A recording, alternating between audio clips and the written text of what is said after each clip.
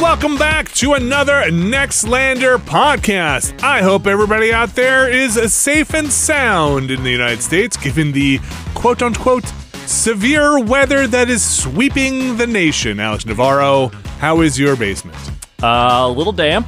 Okay. A little damper than it was as of yesterday. We had a very serious rainstorm come through, a lot of wind. Uh, found that there's a little bit of a leak somewhere along the wall behind me here, so we got some water under the carpet, had to cut it up and uh, throw a bunch of towels down last night. That got most of it, but uh, we may have to have someone come in and take a look here. Stop the water. Water. Can't, You live can't with stop it. it. You can Can't only hope to mitigate it. Or, or move it. Brad Shoemaker, how are you? Did, Hi. did uh, San Francisco get any severe weather? We got rain, which, by the standards of, of this area, now qualifies as a storm, the storm of the century. Okay. Any rain at all is, yeah. I was Yes. expecting water in the basement. and I'll tell you what, I got water in the basement. I was expecting water in the garage, and I'll tell you what, b- I'd cut away the floor about three inches away from the wall, so the water in the garage would go under the floor. Mhm. That seemed to mostly work. It's not the greatest solution. no, It's it's a temper. It's basically like if you said I'm getting water on my floor. What if I just got rid of the floor part?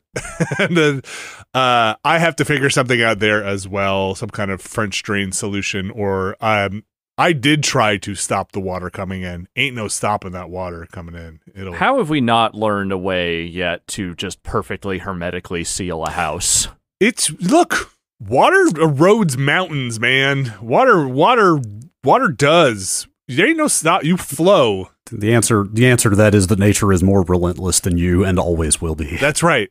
Uh, nature is infinite patience, if nothing else, and will find every crack to get into your house. It's amazing. So you're saying what we have to do is attack and kill nature? What I'm we have to saying is, it. What, if, what if we just went and lived in the woods, like outside in the woods? No, What- that's where it can get you the easiest. that's What uh, if we stopped fighting it? You're saying if if you take the inside and put it outside, Mm-hmm. Yep. okay, Yes, Yeah. inside, outside. Like, what if we made it so that getting water inside wasn't so bad? You know, like it's a feature, not a not a detriment. Like, what I'm not been building an indoor fucking waterfall, Vinny. That's not a thing. I don't want an indoor water feature in my Oh, basement What I what I'm saying is, why not? What I'm saying because that's a bad idea. let the water flow. Just put a bigger hole in and let the water in. I don't want to let the water in. I don't want to let anything in. I want a force field around my house. Yeah, yeah. I would. I forget. I think it was Jim Gaffigan or somebody had a joke that was like, "If nature's so great, why is it always trying to get inside your house?" Which, uh, Yeah. which is This is like, warm yeah. in here. That's why. It's just it's, it's that excited. It wants to spread the good word. Ugh. It's so cool outside. Why all the bugs want to be in here, right? Uh, I look, no, I, I'm with you. I should not complain too much. No, Uh, we can't. considering there was actual flooding in my town, like in a few different areas, uh, I I think we got off relatively light, all things considered. It's just that now it's like, okay. I was waiting for the thing to happen Uh-huh. that was going to have to be fixed, as opposed to the I would like to have this fixed. Yeah, And now I think we're at that. So yeah. seven Yeah. months, that's not terrible. No, the, the thing. It's an uh, okay the- stretch. The thing is too is like how you get somebody to come in and look at it and and have them talk about the future because they're only going to get wetter. We're now in like a tropical zone over here in Jersey, Oh, yeah. so be like we're basically Florida. basically I I don't want to fix just this. I want this to be fixed if you know when the big rains keep coming and they Yeah. don't stop coming. Yeah. Uh, we should also say yeah, there's a lot of serious weather out there, so hopefully everybody is Yeah. dealing okay. I had a problem that required me to buy a shop vac. I did not have catastrophic damage. Did you vacuum up some water? I did vacuum up some water. I'm going to do some more after we're done here. Okay. Right now, I just have a little space heater pointed at the wet parts. Uh, dehumidifier down there or no? No dehumidifier. Okay. Uh, it's just, I mean, I have the heat going, so the the, the room is getting warmer at least. But yeah, Drying out. yeah, Yeah, man. Water. water. Water Fucking hate everywhere. it. Let's get rid of it. Let's no just- more water. That's the problem. Just stop it at the source. That's uh See, that's what that's that's where the Mars people are right. yeah. Ain't no water on that damn planet. oh, but there's ice. And ice is what's ice? Just water yeah, waiting to where's it gonna go? Like it can't get you. It's, It's all under the surface, you know. It's like on the on the top, it's all just toxic dust. We could deal with toxic dust. We could fight that. You're saying let's move to Mars. Well, I mean, if someone saying. better gets us to Mars than the current Uh-huh. crop of people that are trying to, yes. Uh, okay, you're ready to go. What if- no water? What if we just sent all those people to Mars and then we stayed here? You know. Then you, you then then Brad, you probably wind up in um. Hey, no spoilers here, but you probably wind up in some kind of Horizon Zero Dawn situation, or I should say, impossible. Uh, like you know, hey, uh, we're back. It was we ran into a lot of problems. It turns out when you guys were putting kind of guardrails in, maybe that was a good idea. Mm-hmm. Uh, anyway, uh, can I have my old home back? By old home, I mean the entire planet. No. it's just a sorry, we're not home right now. Earth is not home. You can leave a Yeah. message. Uh, we've all gone. To Yes, it should just like the return message should just be spider webs by no doubt. That's the only message they get back from us. It seems they uh, they've embraced Gwen Stefani as as a leader and uh, try and I mean- decode the message. No, no, that's because she definitely would have gone with them. Oh, she's on the uh, no doubt. She's uh she's gone. Well, I mean, let's just be real. That woman is extremely rich. She's She- definitely going with them. She's a magnate now. Yeah. Look, you can be very very rich and not want to go to build a spaceship to go to Mars. It's possible. Yeah, but she might be the kind of rich that would. Did she get rich because No Doubt did really well, or was there something else? Like Oh, she started some clothing platform. yeah, I think it's like juicy, juicy and stuff like that is where she probably made the real money. And her Oh, solo career and as and well. her solo career was huge. Also, and now The Voice is giving her tons of money to be on there every season. So The Voice, like that show, The Voice. She's one oh of the yeah, judges on there. yeah, yeah. Okay, I, didn't mean, she that. was for a long time. I don't know if she still is because I don't fucking watch that show. But What Juicy is her brand? Yeah. Good on her. Celebrities starting brands. That's a weird thing, man. I yeah, don't know. Beats celebrities are brands. Yeah, that's right. Is Beats still big? I mean, the headphones? yes. Yeah. I don't know. I don't. I don't hear about them since we moved out of that office in San Francisco. I don't hear I, about them. I want to say Beats has never been a favorite of like hardcore audiophiles, but for people who just want like good, expensive headphones, they're good. That's what people tend to lean to, or at least they, they were leaning toward it for a while. I don't know what the current thing is. Mm. yeah, Beats was huge. Was while. huge, yeah. Like, I, I don't know about now, but like I saw Beats all over the bus for years and years. And Yes. then, and then Dr. Dre made a lot of money when they Yes. sold. An astronomical amount of money. Oh, did- lot. He, he Would does Dr. not own it anymore. Would, would Dr. Dre go? No, they sold to Apple years Ah. ago. Would Dr. Dre go to Mars? Dr. Dre might be smart enough I th- yeah. to not go to I, Mars. th- I think I think Dre is real enough to to not yeah. stumble into that. I don't know if maybe Gwen Stefani is not associated with Juicy Couture. She I had some clothing thing she was doing at one point. I, don't remember what it was. I might have been wrong about that. I'm just going to check myself here. okay, fair enough. Let's just keep talking about extremely rich people for the rest of this Sure. podcast. Would uh the Dr. Dre's going to Mars? Is uh who else is Dre going to Mars? You just said Dre. Is aren't there other Dre's? You mean Was the, Ed Lover and Dr. Dre? Yeah. Those guys are definitely not the- going to Mars. The other Dr. Dre. Wait, is Ed Lover going to Mars? I mean, unless MTV Spring Break is happening on Mars, I don't think Ed Lover and Dr. Dre are going to Mars. Does, What it- if does anyone who listens to this podcast even remember Ed Lover and Dr. Dre? I mean, I guess maybe mean, this I do, podcast, but- but come on.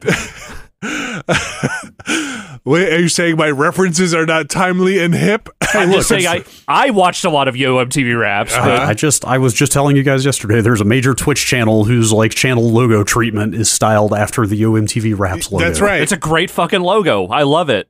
Uh, I believe uh, somewhere registered is Yo Giant Bomb uh, uh, on on Twitter somewhere because that's what I was going to use for a uh, feedback Twitter channel. That's during one show was you can you can tweet uh, Yo Giant Bomb uh, to to message us. I don't, I don't know why this reminds me of the, but I just I did just dig these out like a week ago. I apparently had a pack of Yo MTV Raps cards, which I have put on this wall behind me, and like here's Oh, one yeah, of them, which them is up. the Yep. uh, the Heavy D and the Boys one. Uh huh. There it is. There's the Yo MTV Raps logo. There's also a Flava Flav one. I Uh-huh. think the other one is De La Soul.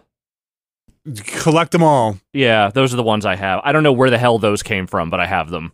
I assume we're speaking directly to our audience now. That's uh, if you didn't know it, that's uh, I mean, if you're not down with Heavy D and the Boys, you're not down with the Nextlander podcast. uh, catch it on Mars any day. Uh, we are here. We're going to be talking about some video games, though. You know, like we're kind of catching up, and we're- there's And- not. Let's be real.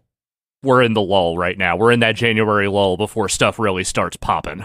Yeah, and we've been kind of talking this week about uh, you know, focusing on the podcast or or focusing the podcast, I should say that's probably better. So I believe we're gonna try and um per where we kind of initially started, maybe having a segment where we're all focusing on one thing for the for a period of time. So Yeah. uh, where it's Doesn't like, mean we're not going to play other games, but like Yeah. we want to have some some more focus on us playing the same games. yeah, which is what we've done before. It's just Yeah. it gets hard and you get side side uh side Waylaid. card no side side Sidetracked. hustled. Side there you go. Yeah. Look, these are smarter people than I am. You get sidetracked, but when all the releases start slamming into Yeah. you on the side. But I think we're going to try it again. Um, next week we'll be talking probably about Prince of Persia, uh, the Lost Crown. Is that the, The new Crown. one, yeah. Yeah.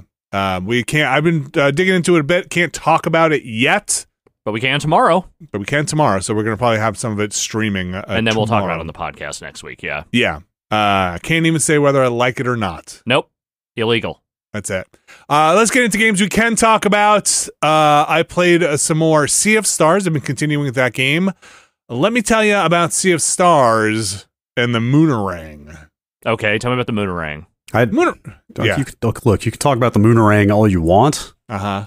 Uh, I'm I'm a little scandalized that you didn't mention last week the Fleshmancer. The Fleshmancer is doing bad business around the, Uh, the, the I islands would, here. I would think you would lead with that. I feel like I feel like I should have been warned that there was a Fleshmancer involved in here. But talk about your Moonerang.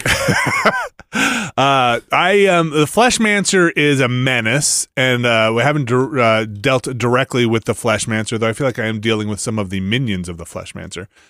Uh, the Moonerang is a move whereby you launch your your Moonerang, and you can then time the hits so that you can keep that combo going. So it's like an active thing, like you're bouncing back. Uh, uh, uh, attacks from Ganon style. You know, like you know, hey, hit the sword back. I think my issue is some of these things can go on a long time, and some of the attacks and sequences can be very long to get what the result you want, and it's making me just choose different attacks because I don't want to sit there and do the long attack. You know what I mean? hmm and that's kind of a bummer i feel like and they maybe give you relics to mitigate some of that but i feel like i'm making choices that are not the best choices because of time and not because it's the best choice Right. uh, but moonerang that's a fun thing to say It is a fun word. Fleshmancer also fun, if also creating a way worse mental picture. How how does one man's flesh? I'm You know- thinking in a very Cenobite kind of way, okay okay you can like a fl- like a like a flaying wizard. Like somebody who's just like uh, you, they do their spell and your skin just peels off they have manster yeah, flesh they just yell Kamehameha and your skin Yeah. goes flying off. that's gross Yeah. okay yeah i could see it uh i It's still like, am it's really like those it's like those Magnavox TV ads where the guy's sitting in front of the TV and then but actually their skin just flies off. Yes, it's in the, like the inside, like the Invisible Man style Yeah. toy, like just skin and, and mucus. Again, another great reference. All Yeah. the kids had that That's all I Invisible got. Man. That's all like- I have, man. It's like that. It's like that fog that turns your skin inside out. Yes. I understand that, reference. That's The See? Simpsons. I got it. Uh huh. Uh, We're full of them around here. is that one from the '90s too? Yes. Yeah, good, good. Like just make sure nothing post 2000. No, No, late, not. no, no later than like ninety five. Uh, that game is still a lot of fun. I'm still playing uh, it to try to see where things go. I love the vibes in that game. I think uh, I, I really love the character Garl. Um, uh, I'm at the part now of if folks are paying attention where I've got a fourth party member. Um, my first new party member in the party. I was, I, you know, was kind of waiting to see how they did it. It's interesting. This party member is pretty kick ass. So I'm pretty happy. We'll see how things move forward. You know, uh, let's let's just talk a little JRPG here for a second. Okay. yes, I was because I was waiting to say Garl Garl. is really a Super Nintendo Uh-huh. RP, 16-bit RPG ass name for a character. Got your four letters. Just got to fit them in there. Uh, but, So- it's- but then again, like Marle from Chrono Trigger, it's like right there.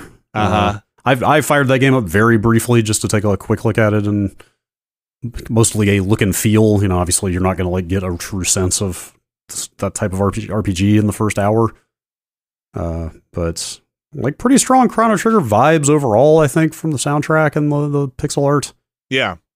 and and and the way the, the the battles unfold, you know, where the enemies are like on the screen and then they kind of take their places when the f- combat starts. Mm-hmm. and run around the map. Uh, Yeah. You know, there's you can uh you can attack enemies to get a jump on them in or take some, get some damage in. Yeah, you it's know. it's like way more Chrono Trigger than uh, Final Fantasy. But also, I, I didn't play a lot of non SquareSoft games on the Super Nintendo, so I don't know if there's like other. I think you played a couple like Seventh Saga, right, and stuff like Yeah. that. So like, I, I don't know. I don't know if there are other touchstones they're working off of there that are not SquareSoft. So the, the one that um the one that you probably can speak to more because my memory on it's terrible. It's like what what about Secret of Mana? Like uh, what what are you feeling in terms of vibes there? Because there Like- is a lot of traversing the environment in this. yeah, game. like uh, yeah, sure. Like some of the, some of the environmental stuff kind of looks similar. I mean, the big thing there is that the combat was real time, more Zelda like in Secret of Mana. So uh, the combat's pretty different, but but like environment design and stuff, yeah, I could see it. all right, big. All right, I'm gonna pause this for a second. Ready, hmm Alex? Yeah. What it what is the what is the uh, um, currency you use to spend magic? What's it called? Secret of. Mana. Okay, Brad. I always said mana. I'm sorry. I'm sure I- this is probably Mana? wrong, but Is this it's like a manga manga thing? I don't know. I don't know. It's one of the. I mean, that one's manga. Like that. that that's I just know. Japanese. mana mana But but then again, maybe I don't know. I don't know what the etymology of that word is. mana so from heaven. Mana you. from heaven. Is- It's it, manam manam. It's not mana mana. is it Greek? I I would bet it's Latin or Greek. Mana sounds like it's, it's vaguely European. um. Anyway, Secret of Manana, Secret Mhm. of Manga. Uh, Sea of Stars is very good. I'm really enjoying it, even if the Moonerang takes forever. Uh, I'm gonna keep doing it. I guess. I guess. I'm terrible at timing the uh, parries. Um, I'm just bad at it. Uh, I like that they give you relics. I like the story in it so far. My flesh has not been manced. It's quite That's all right. good. You want to keep it that way, I I'll think. hold on to it. Uh, I I'm curious to see where this game goes in terms of. I've heard there are multiple endings, or at least uh, a, a real ending or a true ending. Mhm. Oh, what I was gonna say is JRPGs. Let's talk about it for a sec. Brad, Mhm. you played a lot of JRPGs in your Mhm. past. No? Do you buy weapons from the vendor ever? Never. Ever? Never. Ne- Never, nerver, nerver. never. Never. Never. You get your weapons from a chest or from defeating an enemy. You never buy them from a vendor. Never. Okay, that's pretty definitive. I mean, I mean, you know, unless yes, you know, like maybe, maybe okay, that's not never It's- then. it's al- it's almost almost never worth it. Like like generally it's just trash. Like generally it's just like the Uh-huh. stuff the stuff from the vendor is you're always going to find better stuff in treasure chests. Like it's the stuff from the, the vendor is generic, you know. Like all the named weapons that are actually good are out there in the game. So I am finding in this game, I'm buying weapons from the vendor anytime I see them. I mean that that's cool actually. Like that's you know like you can design around that in a way that's actually like you know it kind of forces you to engage with the economy more, right? Because Totally. Like, I I am trying to keep my money. I don't have nine nine nine nine nine gil. I am trying to keep my money, my income going. I Get don't know if I'm doing. up. Yeah, my dollars up. I don't know if I'm doing it right, but like when I see those weapons, I'm like, you know, that's a, a plus four to attack. That's that's respectable. You know I'll what's take doing it. right? Doing what you want. Doing you want to buy a weapon? Buy a Yeah, weapon. Who gives yeah. a shit? Who's going to judge you? you got the money, do what you feel. Okay, here's what you don't buy. Do you buy potions? Uh, if necessary. I've bought potions in a jail. Like that doesn't feel that far afield of like reasonable. No, I I mean, mean- I, actually am kidding. Look, if you're not running around with 99 potions in your belt, you're Yeah. doing it wrong. Yeah. Yeah, I mean to be clear, I'm the person who would finish those games with like like I basically every high potion or X potion that I Yeah. picked up throughout the game still in my inventory by the A time billion I finished ethers. Uh huh. Ethers? Ethers. Come on, let's get Either. ether. It's gotta be ether, right? Uh yeah. Uh softs, a million softs. Uh Mm-hmm. what's the what's what's the one like eye drops, right?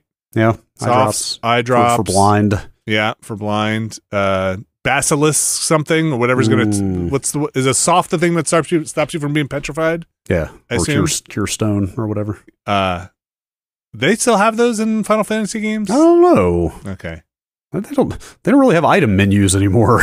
Yeah, I guess. Uh, what? Well, no, you could, they do. Even in the remake, they do. Yeah, right? I mean, you, you yeah, can like, throw I a guess- soft at somebody. Sixteen technically like kind of has items, kind of, Yeah. but it's basically Devil May Cry.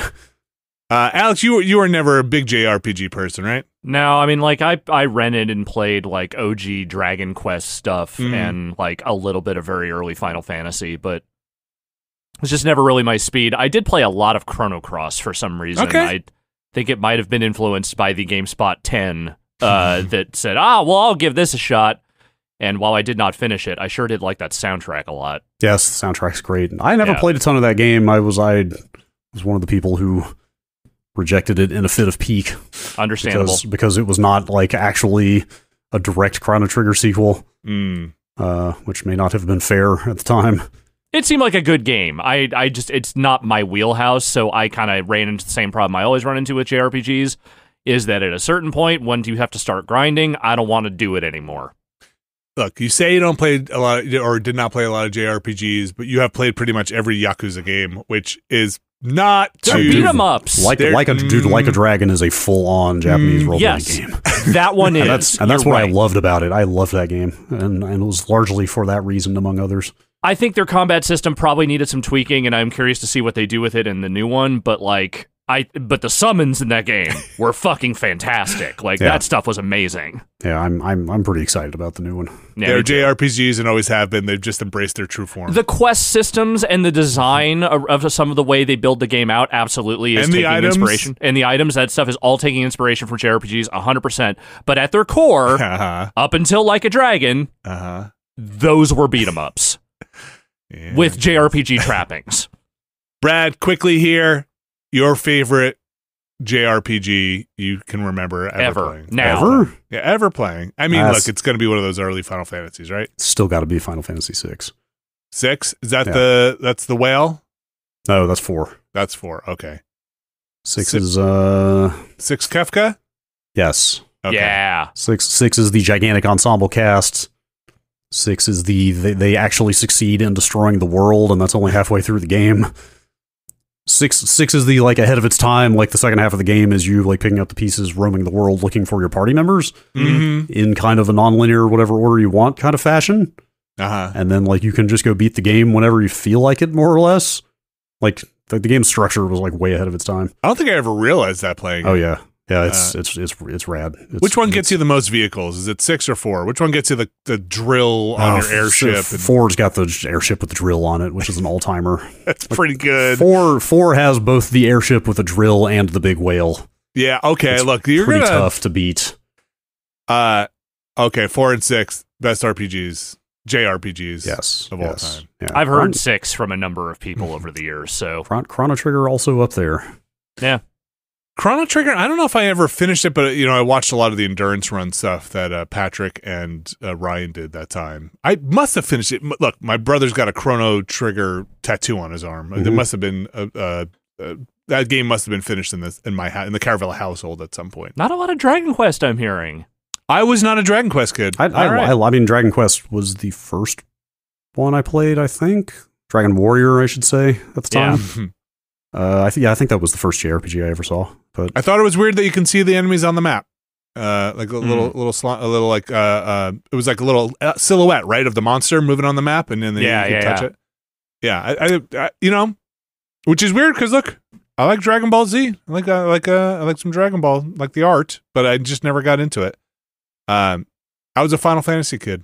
Fair. Uh, yeah, Final We all got our preferences. I get I it. guess Mystic Quest. Um, trying to think what it was that got me to play Dragon was it was Warrior was, Quest.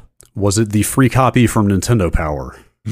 It wasn't a free copy of the game. Okay. No, I rented that game a bunch of times, but I never actually owned it. But Okay, because at some point, if you resubscribe to Nintendo Power, they just started sending free copies of that game in the mail. man, I must have fucked up on that one. uh, but but I've I do got- remember seeing it in Nintendo Power, and I think seeing whatever spread they had for that game got me to be like, I should try this out.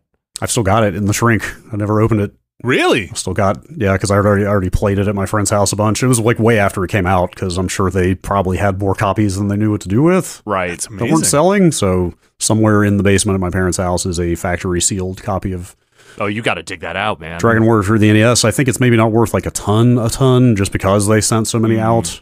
Uh, I did find a, I found a factory sealed copy of Castlevania Bloodlines down there Ooh. uh, last week. Which one is that? It's the Genesis one. Okay. Okay. Uh, which seems We like it's that one. probably Yeah, we played them all. seems, seems like that one's worth probably a good few hundred dollars. Oh yeah. Maybe I should get it graded. It's in like pristine, like the box hasn't even been up or anything. Okay. It It's- sounds it's- like you're you're secretly hoarding uh, quite a collection there. It's- I, I also found a factory sealed Intel Celeron 300A. How the hell did you wind up I with have that? no idea. Why- How? I think I might have bought a second one for a friend or something, or like as a spare, or if it's like there was something going on where somebody else was. I, this was 25 years ago. What I was going to say, that's anyway. like pre you being in some kind of position to just be getting Celeron. Oh, yeah, no, no. I definitely paid for that. yeah. I have no idea why. I, I I feel like I remember something about like they were hard. They were they were. I mean, that was the the king of overclocking CPUs of all time. Like there was a Mhm. run on those things, and I, I'm guessing I might have like bought another one for a friend just to make sure they would have one, and then ended up not using it or something like that. Is that, that's not one of those ones where you could like take a pencil to it. like, oh, that was the Duron. That was the AMD Okay. Duron with the pencil trick. Oh, uh, back in the day when you were Yep. buying a s- CPU Yep. and taking a pencil to it. Yep. Taking pencils to your This is- CPUs, watching Yo MTV Raps, playing your JRPGs. That was the life, man. Yep. Yep. What have we become as a society, really? Dude, that Yeah. thing. That thing was a guaranteed 50% overclock out of the box. Did you check and make sure you did the pencil thing right? Mhm. no, I did not. I did not. Can you even do the Ed Lover dance in Fortnite? Uh, I hope not. I hope Ed Lover's getting uh, getting paid to do an Ed I- Lover dance in Fortnite. I would also like for Ed Lover to get paid. Somebody pay. Somebody pay Ed Lover. Ed Lover's still kicking around. I think so. Okay, good. I don't know if Dr. Dre is still with us, but I, I'm pretty sure Ed Lover is still alive. Since we're talking about it, I also found a stack of uh, copies of the high school newspaper I worked on in high school, Okay. Where Any I I have- you game mentioned that like off Yes. camera when you were still out there. where I apparently was a technology writer that I really don't remember at all. Uh huh. I reviewed MechWarrior 2. Okay. I reviewed the Nintendo 64. Oh, you mentioned that. You did mention that. Yes, Mhm. yes. No score, right? No. I started Okay. to take a picture of some of those articles, and then I actually read some of them, and nope. Those I mean, will you're never a s- teenager, for those- God's sakes. Those will never see the light of day. And You were an, you went you were an English major in college. Mhm. Okay, look, See, bona fides is Mhm. what they say. Is is what they say. I don't know what I, you don't want I- to know what I say. in a way, it would almost be weirder if you just vividly remembered writing all that stuff for a school newspaper. Like, I was in yearbook class one year for school, and I could not tell you a single piece of actual work I did on that yearbook. I just know I did something. You think Jour- uh, journalism class ruled because the thing I remember about it is that we did nothing in there until like the last minute before every issue, and then like Yeah. scrambled, scrambled to get the newspaper together. Just like and- real news. I was just going to say, from the, the people I've talked to at at least gaming publications, that always seemed to be the case there too. Uh, yeah. And the teacher was super cool with, like, for example, me bringing my Nintendo 64 into class when Nice. we're not on deadline. Look, you're hey, I reviewing reviewed it. it. You're reviewing So, it. Sure. It's work. It's product. Uh, you think you think years from now, like uh, not even years from now. I guess I guess people could tell me now. Like I, I'm sure you guys have them too, like old notes or something that were passed around in school, like Mhm. letters from people. Oh, yeah. Found, You a, found a whole box of those. Yeah. Do you th- you think people have like their chat histories that are like or- Some from people old do. phones or something yes, like that? some yeah, people do. that's terrifying. I mean, I've got, dude, I've got reams of uh, IM logs and IRC logs sitting right here on this computer. That's bananas, man. I could pull up a conversation probably between me and you right now. I'm sure you. I'm sure you could. We've never had one. I'm sure you could. Burn them all. Oh, delete wait. them all. Wait, I forgot what was your AIM name? I can't remember. It's probably Mind Cavity. That's what I thought, but nothing's coming up there. It could be Arf the dog. That's what it is. Yeah. That's the one. Uh huh. yes, there's a bunch here. There's there's all there's plenty. Let me go get uh, Pidgin or uh, something else loaded up. Uh, what's the one that was the aggregator for all the AIM client or the, all the messaging clients that everybody had? Oh, there, well, there was um, Trillian. Trillian. Yeah. Trillian, Yeah. yeah. Trillian yeah. Trillian was yes the original aggregator. My MSN chat or whatever. Uh-huh. uh huh. Put my ICQ number in there. Yep, yep, yep. Um, well, while you do that, I'm going to say the word "Sea of Stars" one more time, so that yeah, I since that's still technically part of the segment. That's, that's, so I have to put another marker in here. Uh, that game is fun. I'm going to continue playing that in the background. Uh, uh, so it's always nice to see the JRPG fans get something they really like and can sink their teeth into. You know, I mean, look, obviously they're still making Final Fantasies and things of that nature, but like, you know, lots of indie devs have made attempts at games like this and uh, not necessarily hit the oh this is awesome note Mm. and it feels like a lot of the people i know who like these kinds of games say this one is awesome Yeah, look, I, these have been JRPGs are out there. I don't play them anymore, but Yeah, they, who has are the out there. Th- this one seemed to break through. yeah Uh, Yeah, in- they, in they, they kind of all take the form of homage at this point, or at least the, like the 16-bit styled ones, right? right Mm. Are mostly just people like saying, "Hey, I loved growing up with these, and I wanted to make my own." I can't really speak to it. Like, I, it's really uh, JRPG to me usually ticks off a box that's like, you ain't got time for this, man. You, Mhm. you, you. But then there are other things you should be doing But then you know, look, I'll spend I'll I'll put seventy hours into something like the Tears of the Kingdom, and like that's that's JRPG time, right? That, Mhm. that's or like 110 hours into Baldur's Gate, and that that's a that's a clock of time. Um. So yeah, Sea of Stars, still good. Thirty five dollars. Not not not that pricey a game. Um. You can go catch it. Did you find a, a I Ames? just, I just dropped a screenshot of a conversation between me and you Oh, from boy. December 6th, 2007 into the Slack. 2007. Uh, Does it say we gotta get out of here? that's no, Okay. no. feel like at any point in time there's a conversation between the two of us saying Mhm. we gotta get, we gotta get out of here Oh yeah, um sorry you put Yeah. it in the slack i'll take a yeah. look It's at it. it's it, it was just a random one that I found. I don't know. oh if look at there's- that there i don't know am that was a, The- like a month and change before i did get out of there i just peeked at it and there's the words army of two are in it Uh huh. Yep. okay great what a time to be alive It all, it also reminded me that you could format your text in AIM. yes yeah you could, fonts like- and stuff You could, yeah like change the font, make it bigger, underline and uh, bold and stuff. So you we could really goof- have lost so much you could goof around with the text in, in a way that was fun and a, a- an avenue for comedy sometimes. Um now it's have- all we have- emojis we now you gotta rely on the emojis We have lost so much. we've lost so much uh look i'm is instant messenger still a thing if you if you have an No. aol account No. can you message No. somebody Oh, they, No. they they officially killed it four ish years ago. I want to say like 2019, something like that. If they There's a- brought it back, would you? Would you? And they said you could use it, and we we we will keep. If you have your email address, we will give you your old handle back.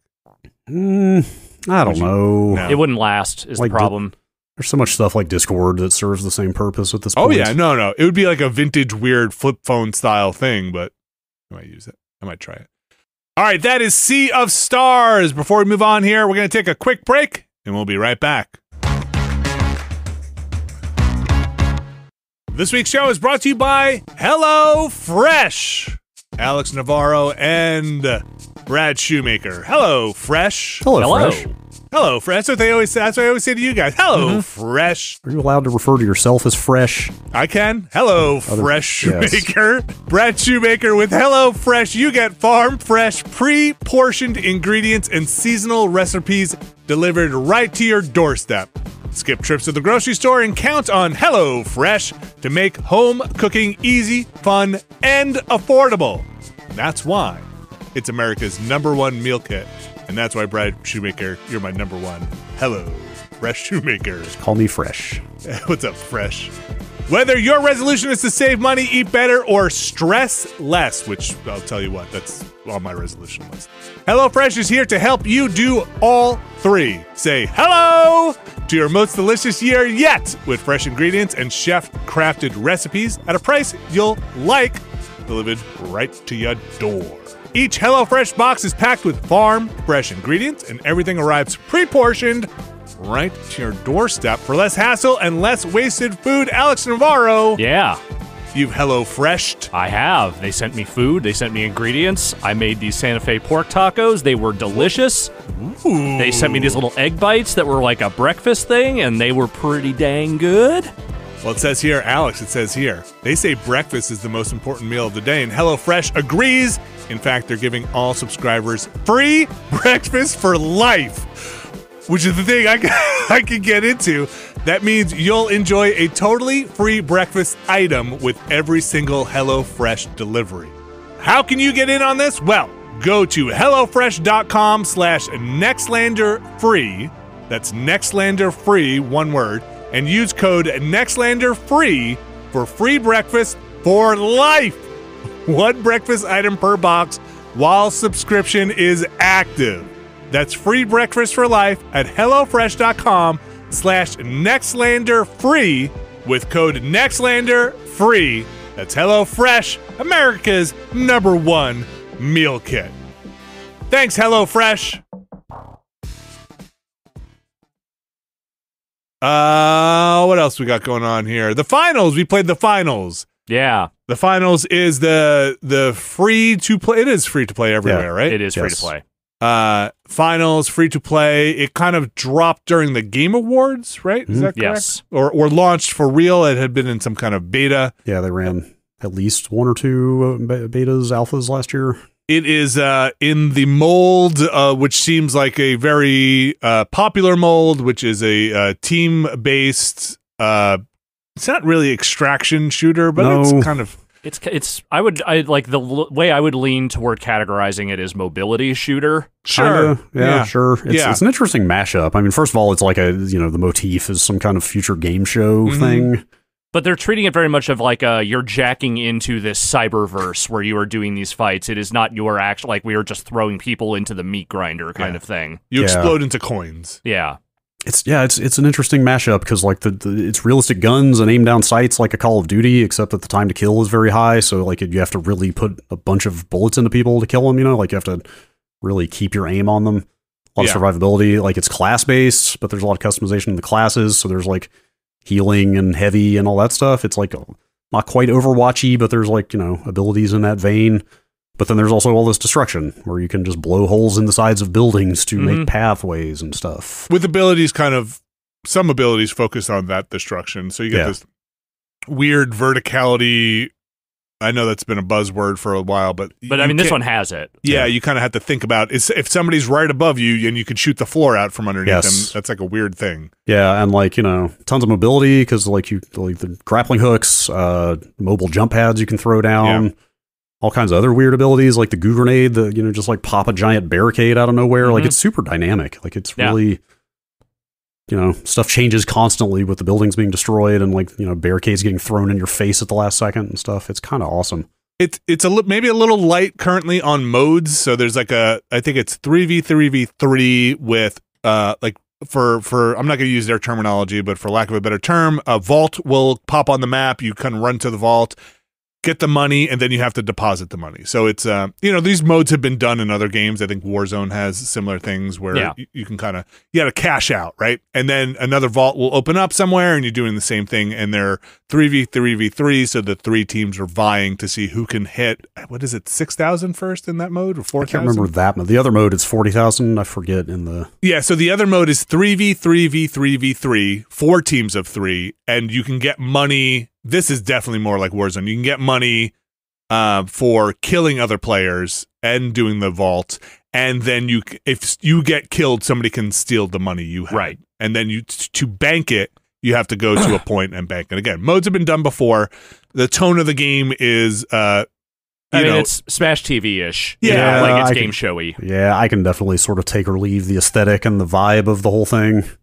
I here's the thing. They've created something that feels very dynamic to play. The like I, I think the physics stuff is really well done. Like the way the environment can deform around the the nonsense that you are doing in the game, I think is really great.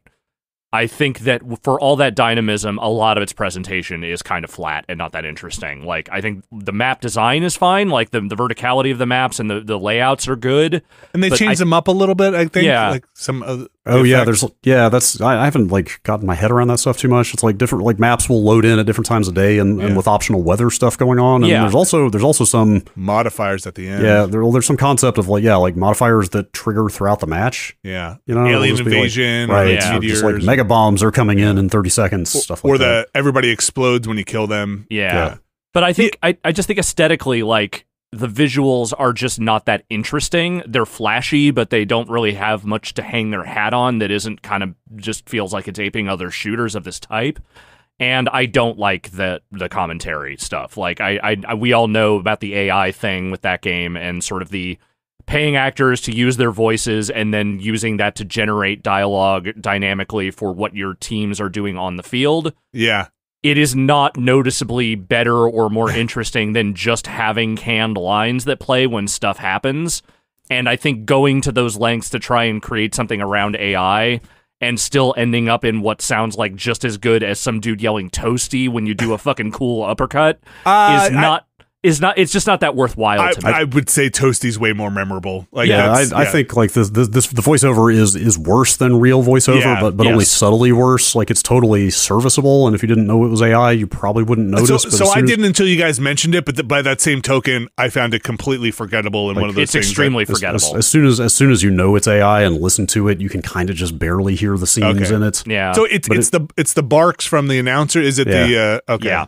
Yeah, yeah. And I just they're, they're all just- they're all they're all just they're all just a little bit robotic in the way that like most all AI generated stuff is, and like you know, somebody did at least get paid here. so it's um, it's based on like voice actors models that they. my, my, my Yes. understanding is that they paid voice actors who provided their voices and they trained the model on those voices. I think is how it worked, but even then, even then they're just making, I assume, a flat rate. I, I yeah, I don't know And- about and the not- financials of it, but the, I know the end product. And again, it sounds like Alex. We were talking before the show. This is some stuff that's in negotiation right now with SAG-AFTRA in, in terms of the how voice this stuff actor gets stuff used. is kind of in a very hot place right now. So Yeah, this this stuff is all over. Like this is going to be the year that everybody has to deal with this stuff because like Valve just announced that games with AI generated content are going to be allowed on Steam.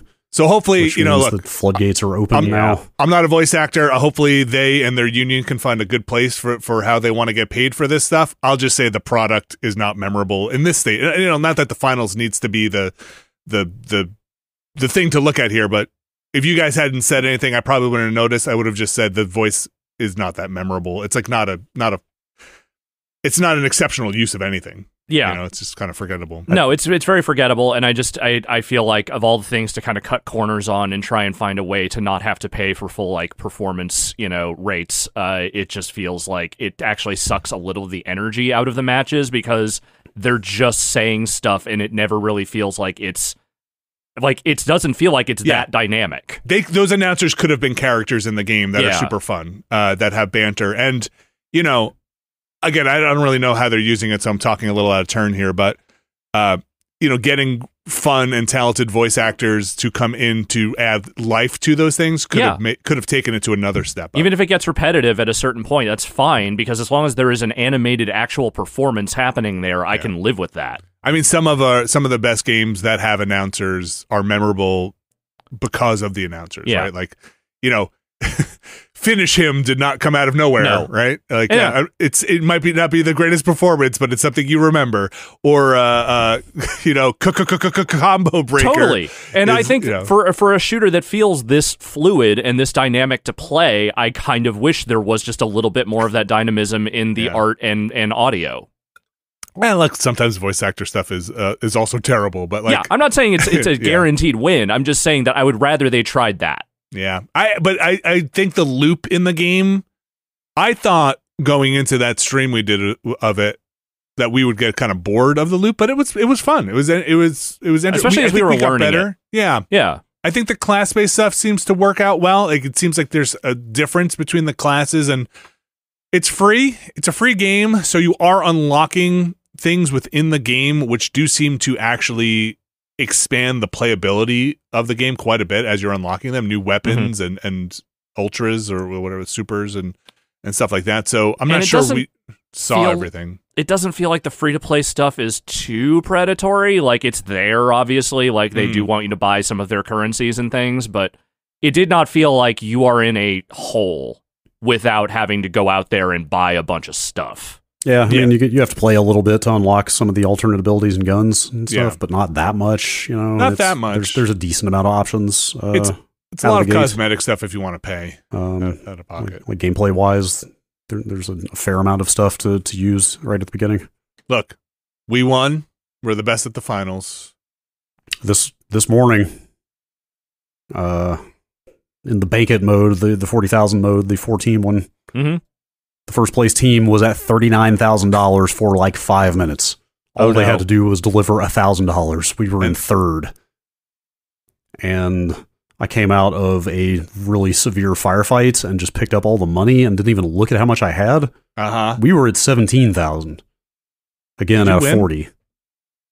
My other two teammates were dead. I just ran for a deposit station, slammed the coins in again without even looking at how much I had on me, and then we won Fucking Nice. hell yeah. I apparently had at least twenty three thousand on me. That's out awesome. That, out of that massive firefight, and we went from third place to winning the match without me even realizing I was about to win the match. It was kind of amazing. oh, That that sounds rules. fun. Yeah, I, Um, look, I think that game is fun. Yeah, Um, it is. It's it's uh, fun. It fun it's to very play with you guys. it's very breakneck, seat of the pants, you know, with all the like the destruction and stuff, and the and the the mobility lets you pick like new routes or create new routes. You know, like it lets you it lets you go where a route shouldn't be with the jump pads and the grappling hook and then busting down walls and all that stuff. It just feels it feels like it's changing around you constantly in a way that's pretty exciting. Um, that's the finals. It's Tough- free. t- tough to play with randos, I will say. Like, oh, when it- you're not communicating. very much is a game you probably should play with. We did go up against a few teams which seemed like they were playing very a very coordinated game. There's like a support uh, system in it for support classes where you could just be healing people, and and that I think that's the one we won on, right? When we did two support, Yeah, and, and Yeah. yeah, It- and we had one seems- mid.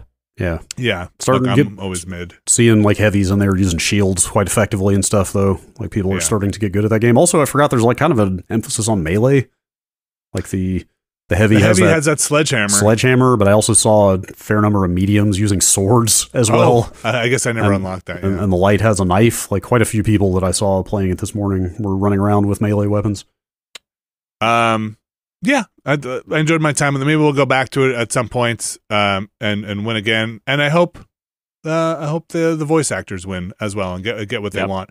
I honestly, I'm not exactly sure. I haven't been keeping up with with those negotiations, but pay them a fair wage, pay them what they're worth. Uh, It seems like things are in a complicated place right now. And again, not as not an expert on how these negotiations go, but it feels like some of the stuff that is starting to float up is uh, there's there's some contention around it. Okay. Well, I hope they're I hope that their union and they and the base are in line too. Yeah. To as a unified front. Um. I, I, I should I should mention real quick since I talked about the Valve stuff. Uh, Yeah. it seems like they are requiring developers to disclose that their game has AI generated content. Oh, are you Um, mentioning right? They had a disclosure, or they had, they had a. I don't know if you talked about it on this podcast, but you mentioned it a, a bit ago. You had to have ownership of all your stuff, right? That was the thing they used to have on there, and then they changed that. Brad. I am not sure what the change was exactly. This this may have just been their further detailing the policy. I thought I thought previously you couldn't have games with AI generated content at all. I could be wrong, but they are allowing games now with AI content on the service. But again, you have to you have to say that it has it. And apparently, Uh-huh. if it apparently if it's the type of thing that generates the content at runtime, you also have to kind of explain what your safety measures are in place for it to not generate like extremely not good content. Mhm. Weird. So um, is that one of those things that'll be listed on the side of like probably, has probably. co-op and yeah, and I'm yeah, and I'm I'm sure I'm sure Valve wants to flag all of these games appropriately just to, so they have those global controls in case anything changes. If they just need Mm. to like pull everything all at once for whatever reason Mhm. or something. Like knowing knowing every game on the service that has this stuff and being able to like hit a button to like shut it all down if they need to probably is valuable. shut them all down. There was just another. Uh, I saw the Wizards of the Coast uh, just had another thing kerfluffle with. Um, it's you know look, I I think it's really hard out there when they have contractors and because they had said we're not gonna we're we are making it a rule for our contractors no AI generated art and then the people saw some artwork that went up for Magic the Gathering and I was like that definitely looks AI generated and Wizards was like it's not we we we we made sure it's not and then they had to walk that back later and be like okay turns out the person did it used uh, Photoshop's AI tools that are in it to generate something or other. I think that's what they were saying. It's going to be a. It's Wacom had the same thing happen. Oh, yeah? them. Of all the fucking companies to have For, that like- happen, key art or something. I some ad something they did ended up with AI generated assets in it, and they did the exact same routine, as far as I can tell, of denying it and then blaming a third party. And it's just like, is that the playbook now? Hope I- no I- one notices, and if they do, say it's someone else's fault. Well, look, I like a lot of these people are hiring contract people who they have to then trust to not do it, and these tools are really integrated now. And like in Photoshop, they're just baked in there. Yeah, I'm not giving them a pass. I'm just saying this stuff is going to be. It. I, I think it's tough. it's not- messy. it's- but I'm just saying this has happened like three times in the last week, which Yeah, is yeah. wild. it's it's messy. Like I don't think it's going away. I just again my stance is hopefully there are protections for the people who need the protections in place for this stuff. Wild West, man. I'm not even here. This is my There's no AI goddamn voice. law anymore. No, let's go back. Let's get Ed Lover back. Yep. He'll- Do the Ed Lover dance. That, that can't can't AI generate that. they tried it. They tried. Wouldn't work. Um, Alex Navarro. Some things never change. Ed Lover, Yo MTV Raps, and Vampire Survivors.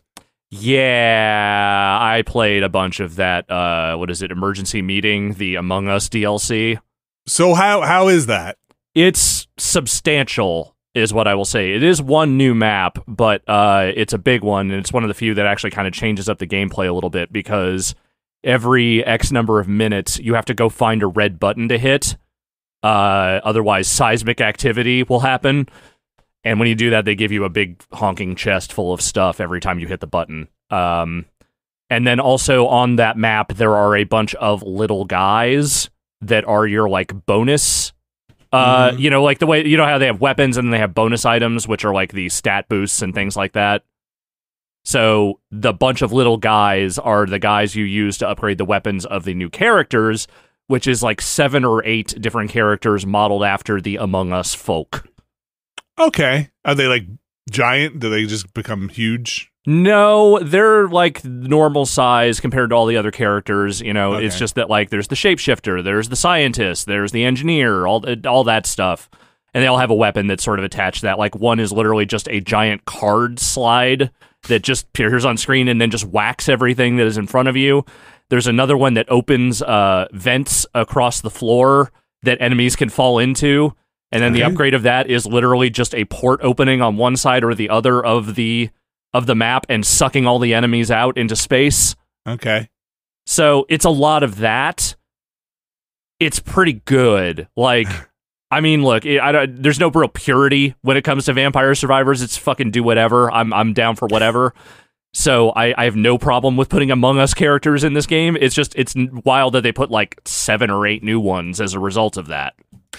Is, there's no um there's no mechanic baked into it where somebody is a hidden something or other, right? Like that's it's mostly there's no like the you know among us true mechanic of there's this person's a traitor. It's just mostly fighting these people with the kind of uh trap mechanics in it. I, I have not found anything that is traitor like anywhere Okay. in it, but I will say the first character, the one that is default unlocked, uh, is the one that has the megaphone okay. uh, that calls the emergency meeting, and the de- like the upgrade of that weapon is that once you get it, uh, every minute or so it will uh, find it will determine one enemy type that is on the map as the imposter, and then erase all of them. Huh.